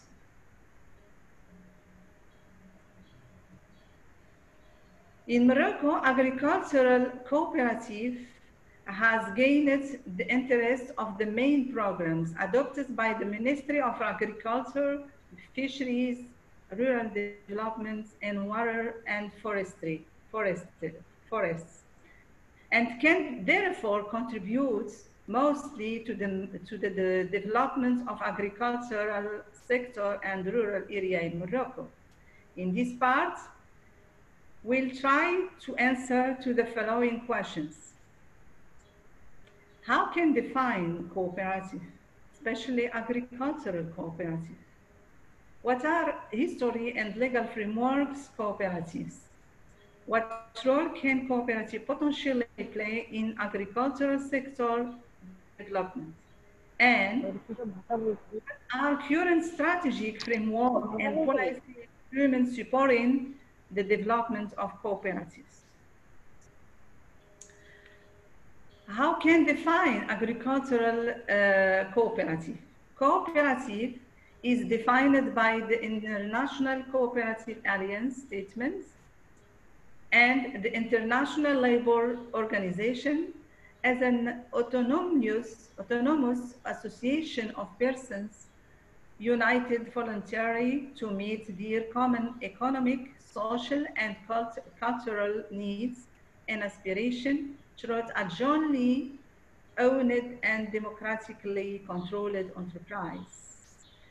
We can deduce uh, uh, agricultural cooperative is a type of cooperative that unites agriculture, agricultural producers for production or other activities needed by the members, such as processing, marketing, or out, of outputs, or supply, or supply of the main of production. The legal frameworks on cooperative in Morocco, the first uh, one is the law. The law on cooperative has been uh, promulgated in uh, 2084. The current law, number uh, 112, created on January 2015, more, uh, is more flexible it uh, uh, allows to uh, regulate all type of cooperatives, simplifies the registration producers, improves the administration and financial management, allows a flexibility with regard membership and capital to establish new cooperative. His application it means the application of this law uh, is uh, uh, dedicated to the Cooperative Develop Office, Development Office, ODECO. Legal framework on cooperative in Morocco. Uh, Cooperative Development uh, Office, ODECO, is a public institution created in September, September 2062. He, uh, its missions at, uh, or the message attribu- uh, attributed to this uh, office by the law, the, the, the list uh, law is to provide cooperative with training, information and legal assistance to finance advocacy, advocacy and extension work to assist them in their income generating activities. There are other, other legal framework of cooperative action in Morocco, cooperative and their un, un, unions, irrigation water users association, economic interest group, etc. I will take an overview on cooperatives history in Morocco. Solidarity and cooperative practices were known in Morocco centuries ago by first inhabitant Amazigh. Uh, I, I give you an example of cooperative practices.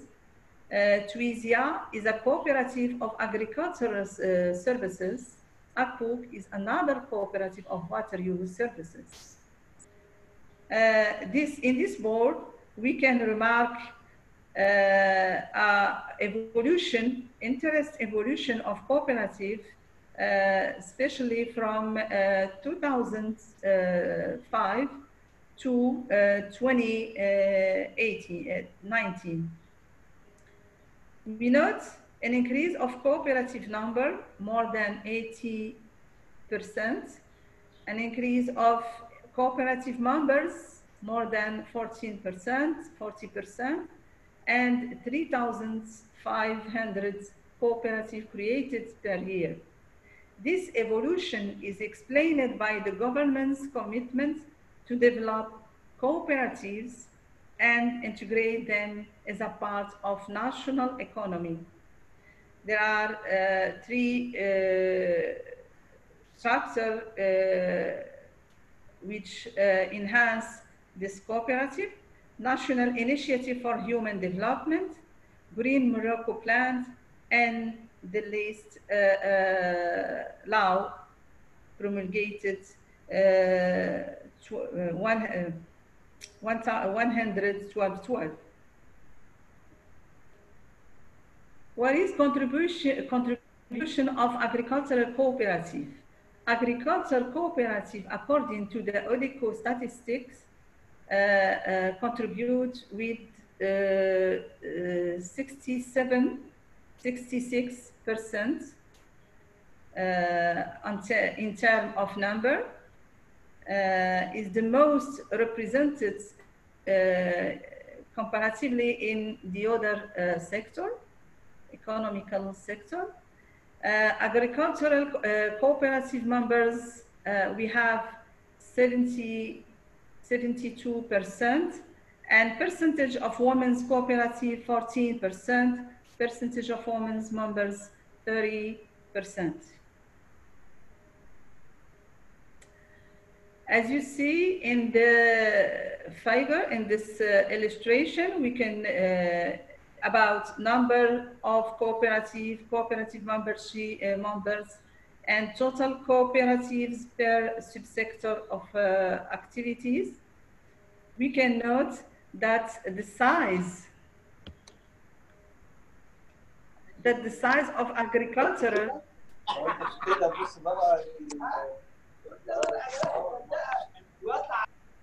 we can note that the size of uh, uh, and number of agricultural cooperatives varies largely across subsector.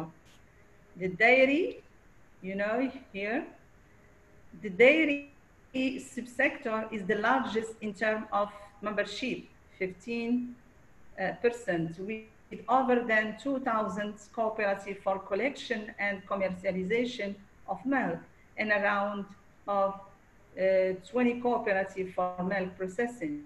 It is followed by the red, the red meat, honey, and services subsector.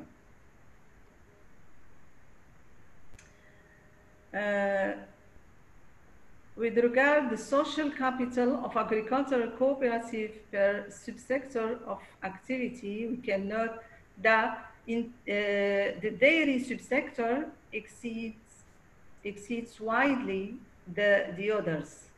It achieves more than uh, 400 and 200 uh, MAD million, respectively, in processing and collection. It is followed by cereal, reed beds, and surfaces.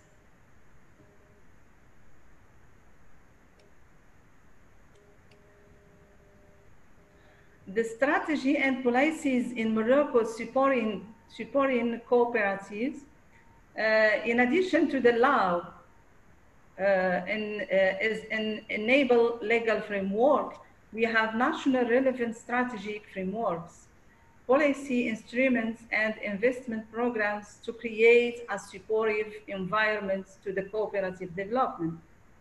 First of all, the social economy national strategy propose important institutional, legal, and policy uh, reforms concretizing the principle of solidarity and social utility. The Green Morocco Plan based, as I said, on two pillars. Uh, the first one, intervention on the most productive area with the main objective of developing modern high productivity and high value chain aided agriculture. And the second one, intervention, intervention dedicated to less productive or more remote area with the main objective to, of developing, developing local value chains as a mean to improve farmers' income. Third one, National Initiative for Human Development uh, is a royal open workshop launched in uh, 2005 to combat, to combat social exclusion. This initiative supports the creation of many cooperatives and helps them to achieve their uh, project generating and improving their income. Other programs like Al Murafaqa, IFAD, International Fund of Agricultural Development, and Agricultural Credit Bank.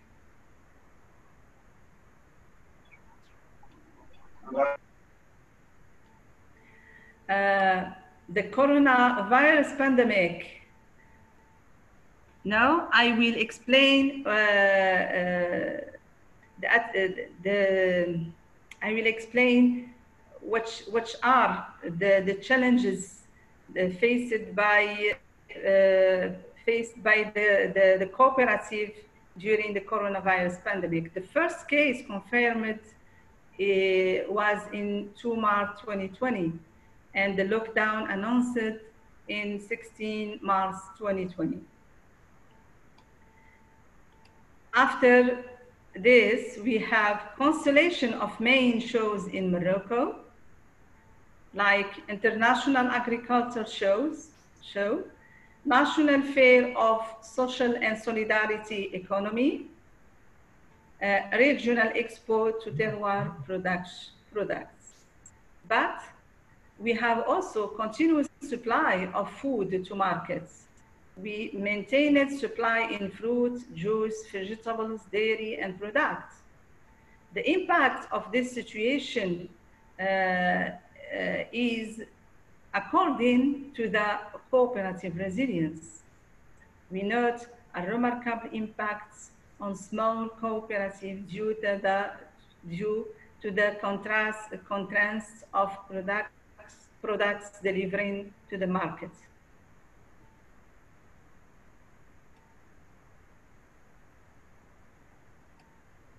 International agriculture shows, I, uh, I want to, uh, to explain or to, to give you some notes about international agriculture shows of Morocco. Uh, the international uh, agriculture shows in, uh, of Morocco is the, the best place for cooperative to sell and showcase their products to the multitude of uh, visitors. Uh, but uh, participating in the show is also being on one of the largest media platform for agriculture in Africa. It is therefore an, an accepted opportunity to be known nationally and internationally. About statistic uh, of the, the latest uh, edition, we had uh, some uh, eight, uh, thousand, uh, 8,015 1,500 visitors and more than 300 cooperative, more than 1,000 exhibitors, and more than uh, nearly uh, 60, six, uh, 600 accredited, accredited, journalists.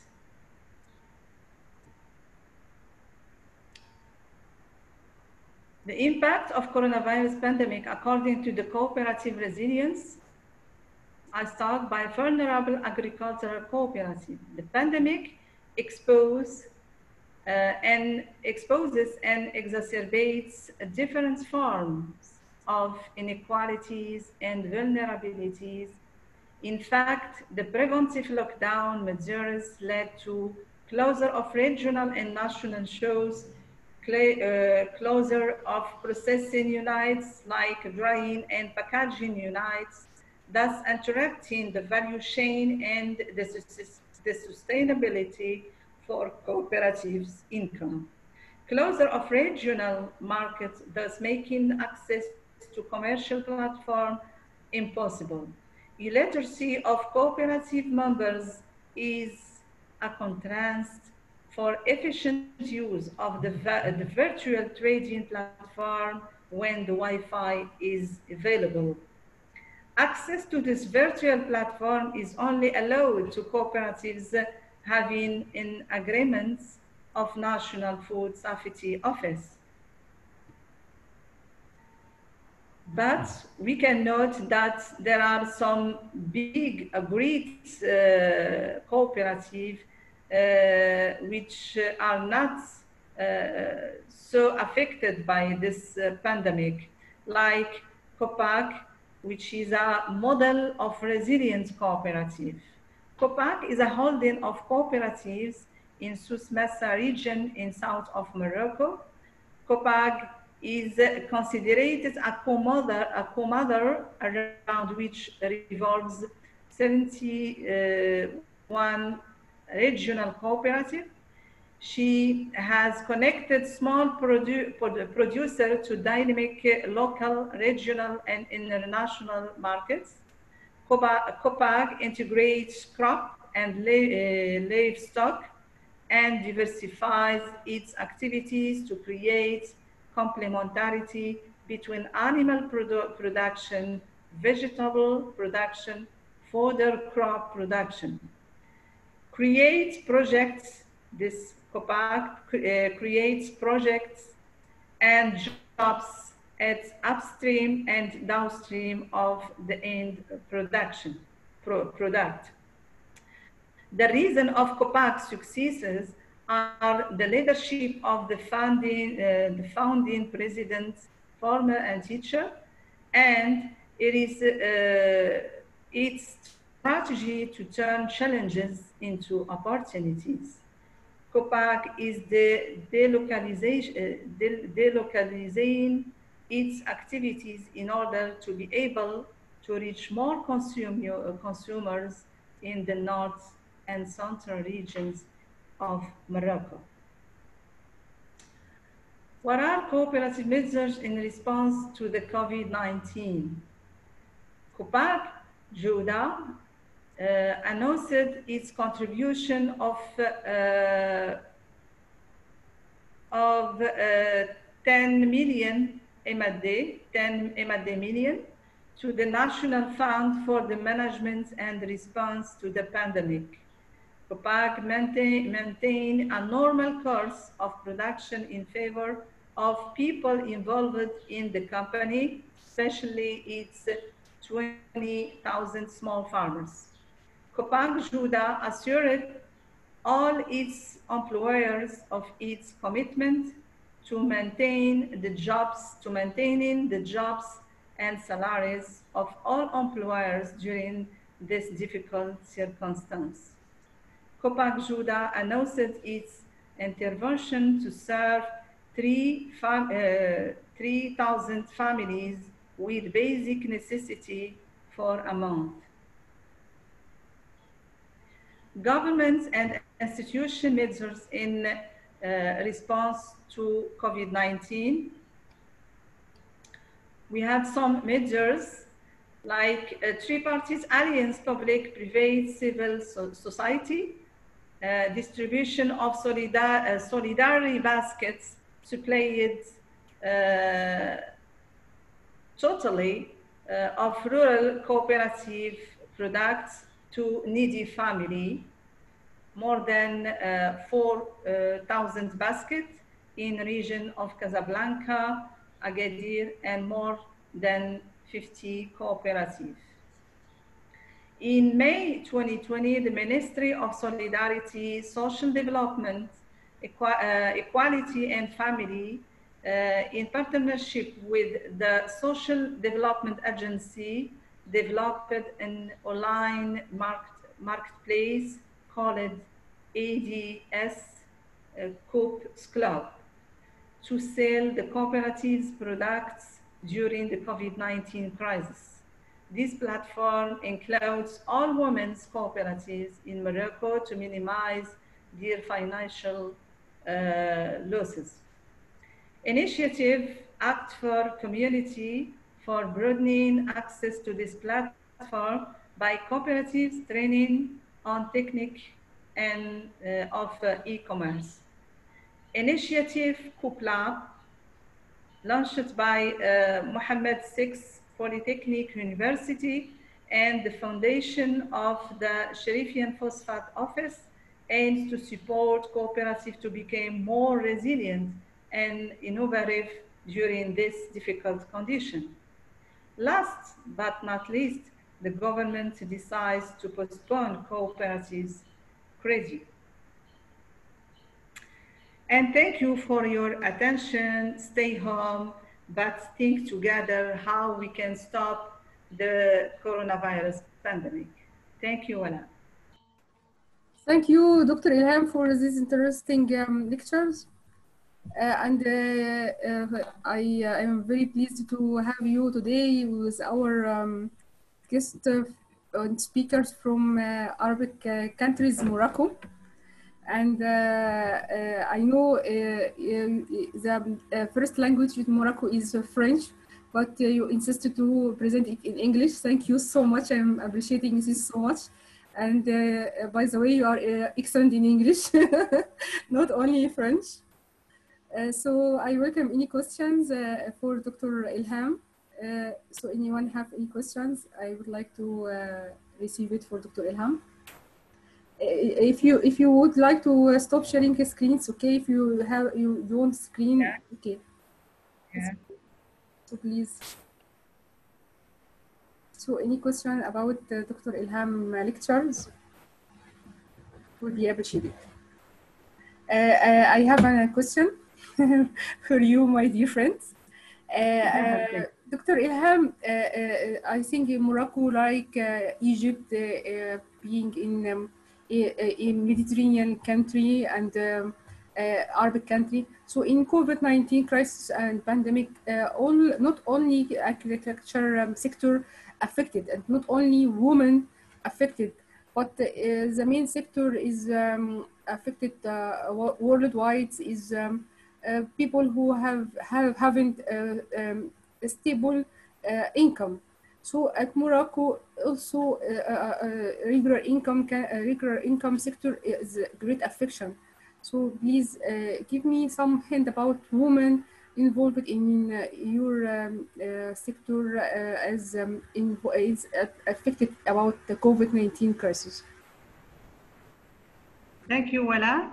Yes, as all the countries in the world, all sectors are was affect, were affected or are affected in Morocco, especially the tourism sector, and uh, the find, uh, uh, some enterprise society.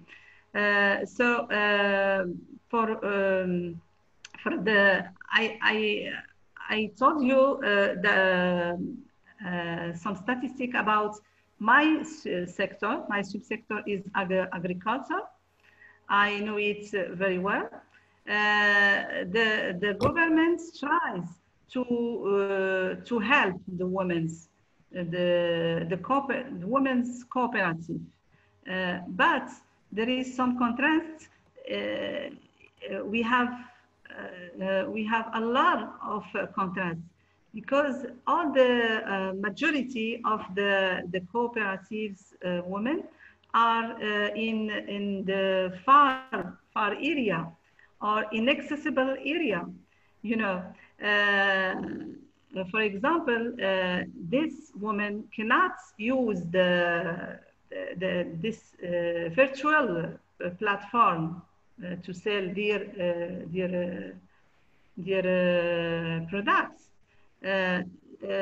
because they uh, don't uh, يعني don't um, uh, they don't have uh, accessibility, don't have accessibility, yes, yes, accessibility, and the resources. what They don't have the resources, accessibility to to to to the complete. resources and and they they, they, uh, they're not uh, they are not uh, trained on how to use the the platform and uh, sometimes they don't have uh, Wi-Fi in the, the far uh, regions. Uh, it is the like for the, the other subsector. Uh, for example, the tourism uh, subsector, uh, due to the, the lack of uh, tourism in Morocco, you know, because the lockdown, we don't have tourists in Morocco. So uh, the subsector is very, very uh, the most the most affected uh, relatively to, to the, the other sector. Thank you, thank you so much, Professor Dr. Ilham. So, uh, as uh, your uh, lecture was the last lecture for today, I would like to thank all our speakers and uh, participants. And uh, I will uh, remind you by tomorrow um, uh, lecture. Uh, tomorrow we have uh, four uh, lectures. Um, Dr. Fatima uh, from University of uh, uh, Sister Nivedita University, uh, India, department professor in Department of Microbiology and Biotechnology. Uh, Dr. Uh, Itria is also assistant professor in the Department of Microbiology, Biotechnology, Sister Nivedita University, India. Uh, we have tomorrow uh, my dear Professor uh, Dr. Hayam Nazif, Professor of Pediatric Faculty of Postgraduate Childhood Study Ain Shams University. And our last speaker will be Dr. Subhi Sayed from uh, um, University, Faculty of Science, Department of uh, Zoology. Uh, so uh, I uh, would uh, like to uh, continue joining us tomorrow and all upcoming five, four days for our lectures. And I hope we can mm, send so small message about science and the challenges in this pandemic crisis. Uh, dear Professor Fukami, I over for you to, to talk and give uh, your um, closing uh, for the day, please, Professor Fukami. You hear me? Professor Fukami?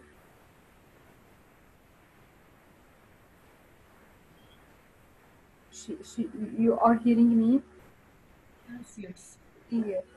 Dr. Ibrahim Tantawi also joined us uh, lately because he has some uh, uh, exams in uh, in Faculty of Medicine. So, Dr. Fukami, would you please give your talk for closing? Uh, thanks, dear all. Uh, we have a good time uh, for the to hear the the some the the the speeches about many the many many field ma- the fro- from many fields, and uh, we can we can mm, make the some idea from these the lectures.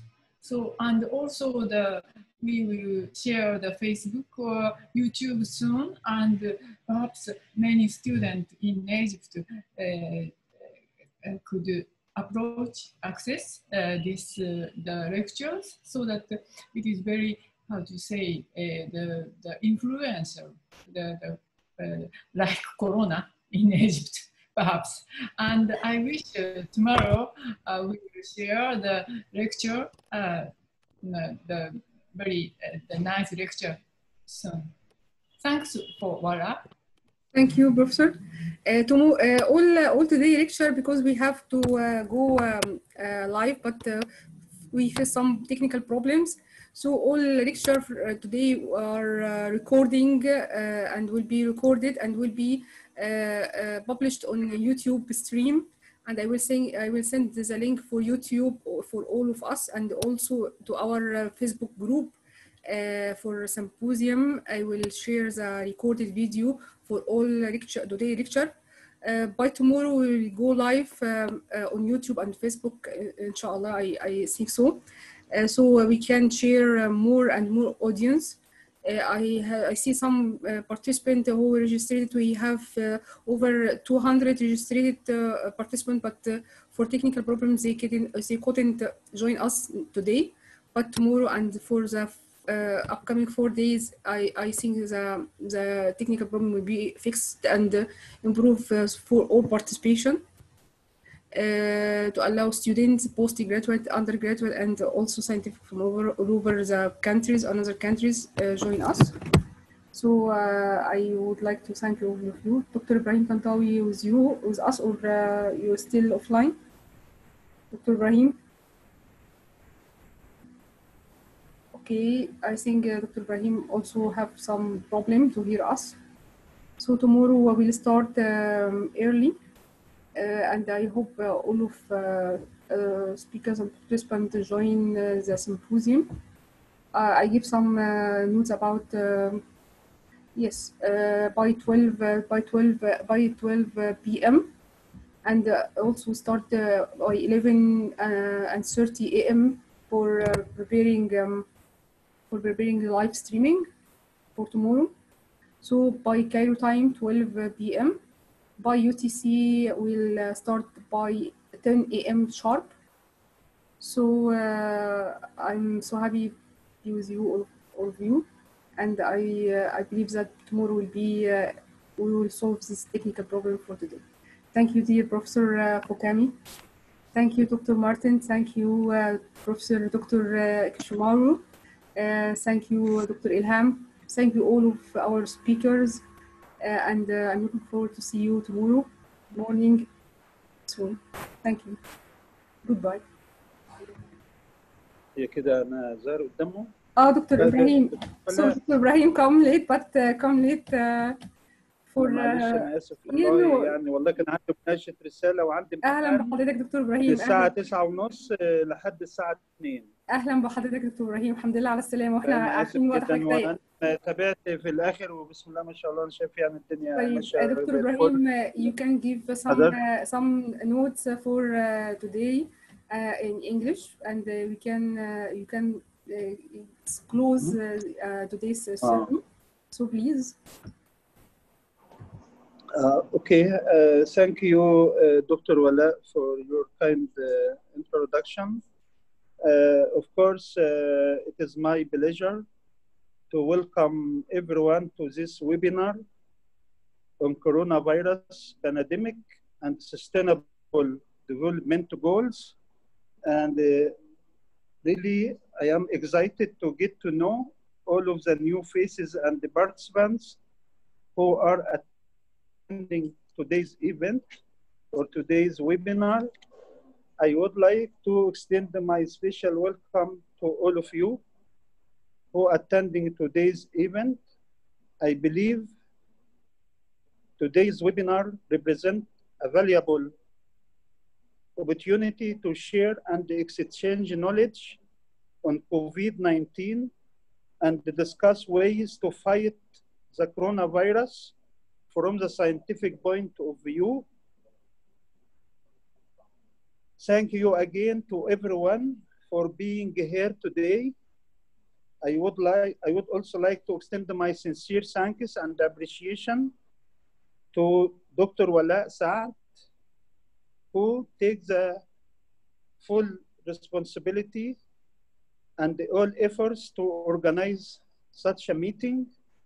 And also my sincere thanks to Professor Naoko Fukami, Director of JSPS Research Station in Cairo, for her great efforts and genuine help to make this event possible.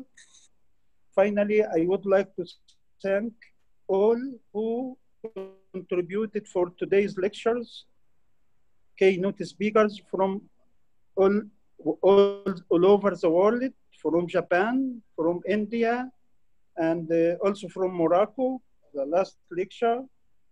I wish very, I wish that this webinar event will be very fruitful and successful in the next days. And thank you very much for all, for you all. Ibrahim Tantawi, President of Japan Society for the Promotion of Science Alumni Association in Egypt. And all the best. Thank you, Dr. Ibrahim. Dr. Ibrahim, uh, uh, I will introduce you. Uh, Dr. Ibrahim is the president of uh, JSPS uh, in uh, Egypt, in Cairo, and he is a head of department in Faculty of um, Science at Minerva University. And I'm so he, he his schedule is was was very busy today, but thanks to join us in the closing ceremony. Thank you, Dr. Ibrahim Uh, and uh, tomorrow, inshallah, uh, he will join us also from from early um, from early lectures. Uh, so see you all of us tomorrow. Thank you so much. Thank you. And goodbye. Okay, thank you, Dr. Wala. Thank you for all. دكتور ولاء طب ما يتكلمش المحاضرة ولا دكتور ولاء Thank you. excuse me دكتور ولاء طب لا هي مش هتسمع اسمعها ليه مش هتسمع ولاء أيوه دكتور عبد الله آه آه، الدكتور دكتور عبد الله أنت بتكلمني؟ حضرتك عايز حاجة؟ آه الدك- الدكتور صبحي حسب النبي. حسب النبي. آه، هو قاعد معايا. هو كان بيسأل ميعاد مع حضرتك في البرنامج صح؟ هنشوفها آه آه يس ثواني يا دكتور إبراهيم. أنا هشير سكرين تاني آه. just yes. uh, tom- tomorrow tomorrow. He will have Yes, uh, his uh, presentation again I will remind by tomorrow uh, speakers tomorrow we will have a first speaker uh, Dr. Fatima from Sister uh, Sister uh, Nivedita University India uh, Dr. Etria, also a professor, associate professor from uh, uh, uh, Sister Nivedita University, uh, India. And uh, Dr. Hayam Nasif, professor of pediatric faculty of postgraduate childhood study, uh, faculty of medicine, uh, Ain Shams University, Cairo, Univers uh, Cairo Egypt. And Dr. Professor Dr. Sobhi Said, um, I will be, yes, he will be our speaker tomorrow our uh, uh, for um, new strategy of treatment of COVID-19 and the evolution of SARS-CoV-2 according to biodiversity and evaluation theories is the title of his lectures. So tomorrow uh, uh, he will uh, um, present his, this um, presentation. Dr. Walad, yes, Dr. Walad, you, can, you can send to me the link of, of the Zoom. Okay, sure. The link. Sure, sure, Dr. Uh, Dr. Uh, Sobhi, I will. On, on, on WhatsApp, on WhatsApp. Yes, I will send. and we resend. By the way, uh, we have only one link for all uh, for all five days so we- no need for uh, uh, every day to register it uh, by another link. Only one link will be filled for all five days. So uh, uh, any speakers or any participant, you can send or share the same link uh, you entered today for this uh, meeting. It's public and you can share it uh, freely. So feel free to, to, to share it and propagate the link. And after registration, you will have confirmation email.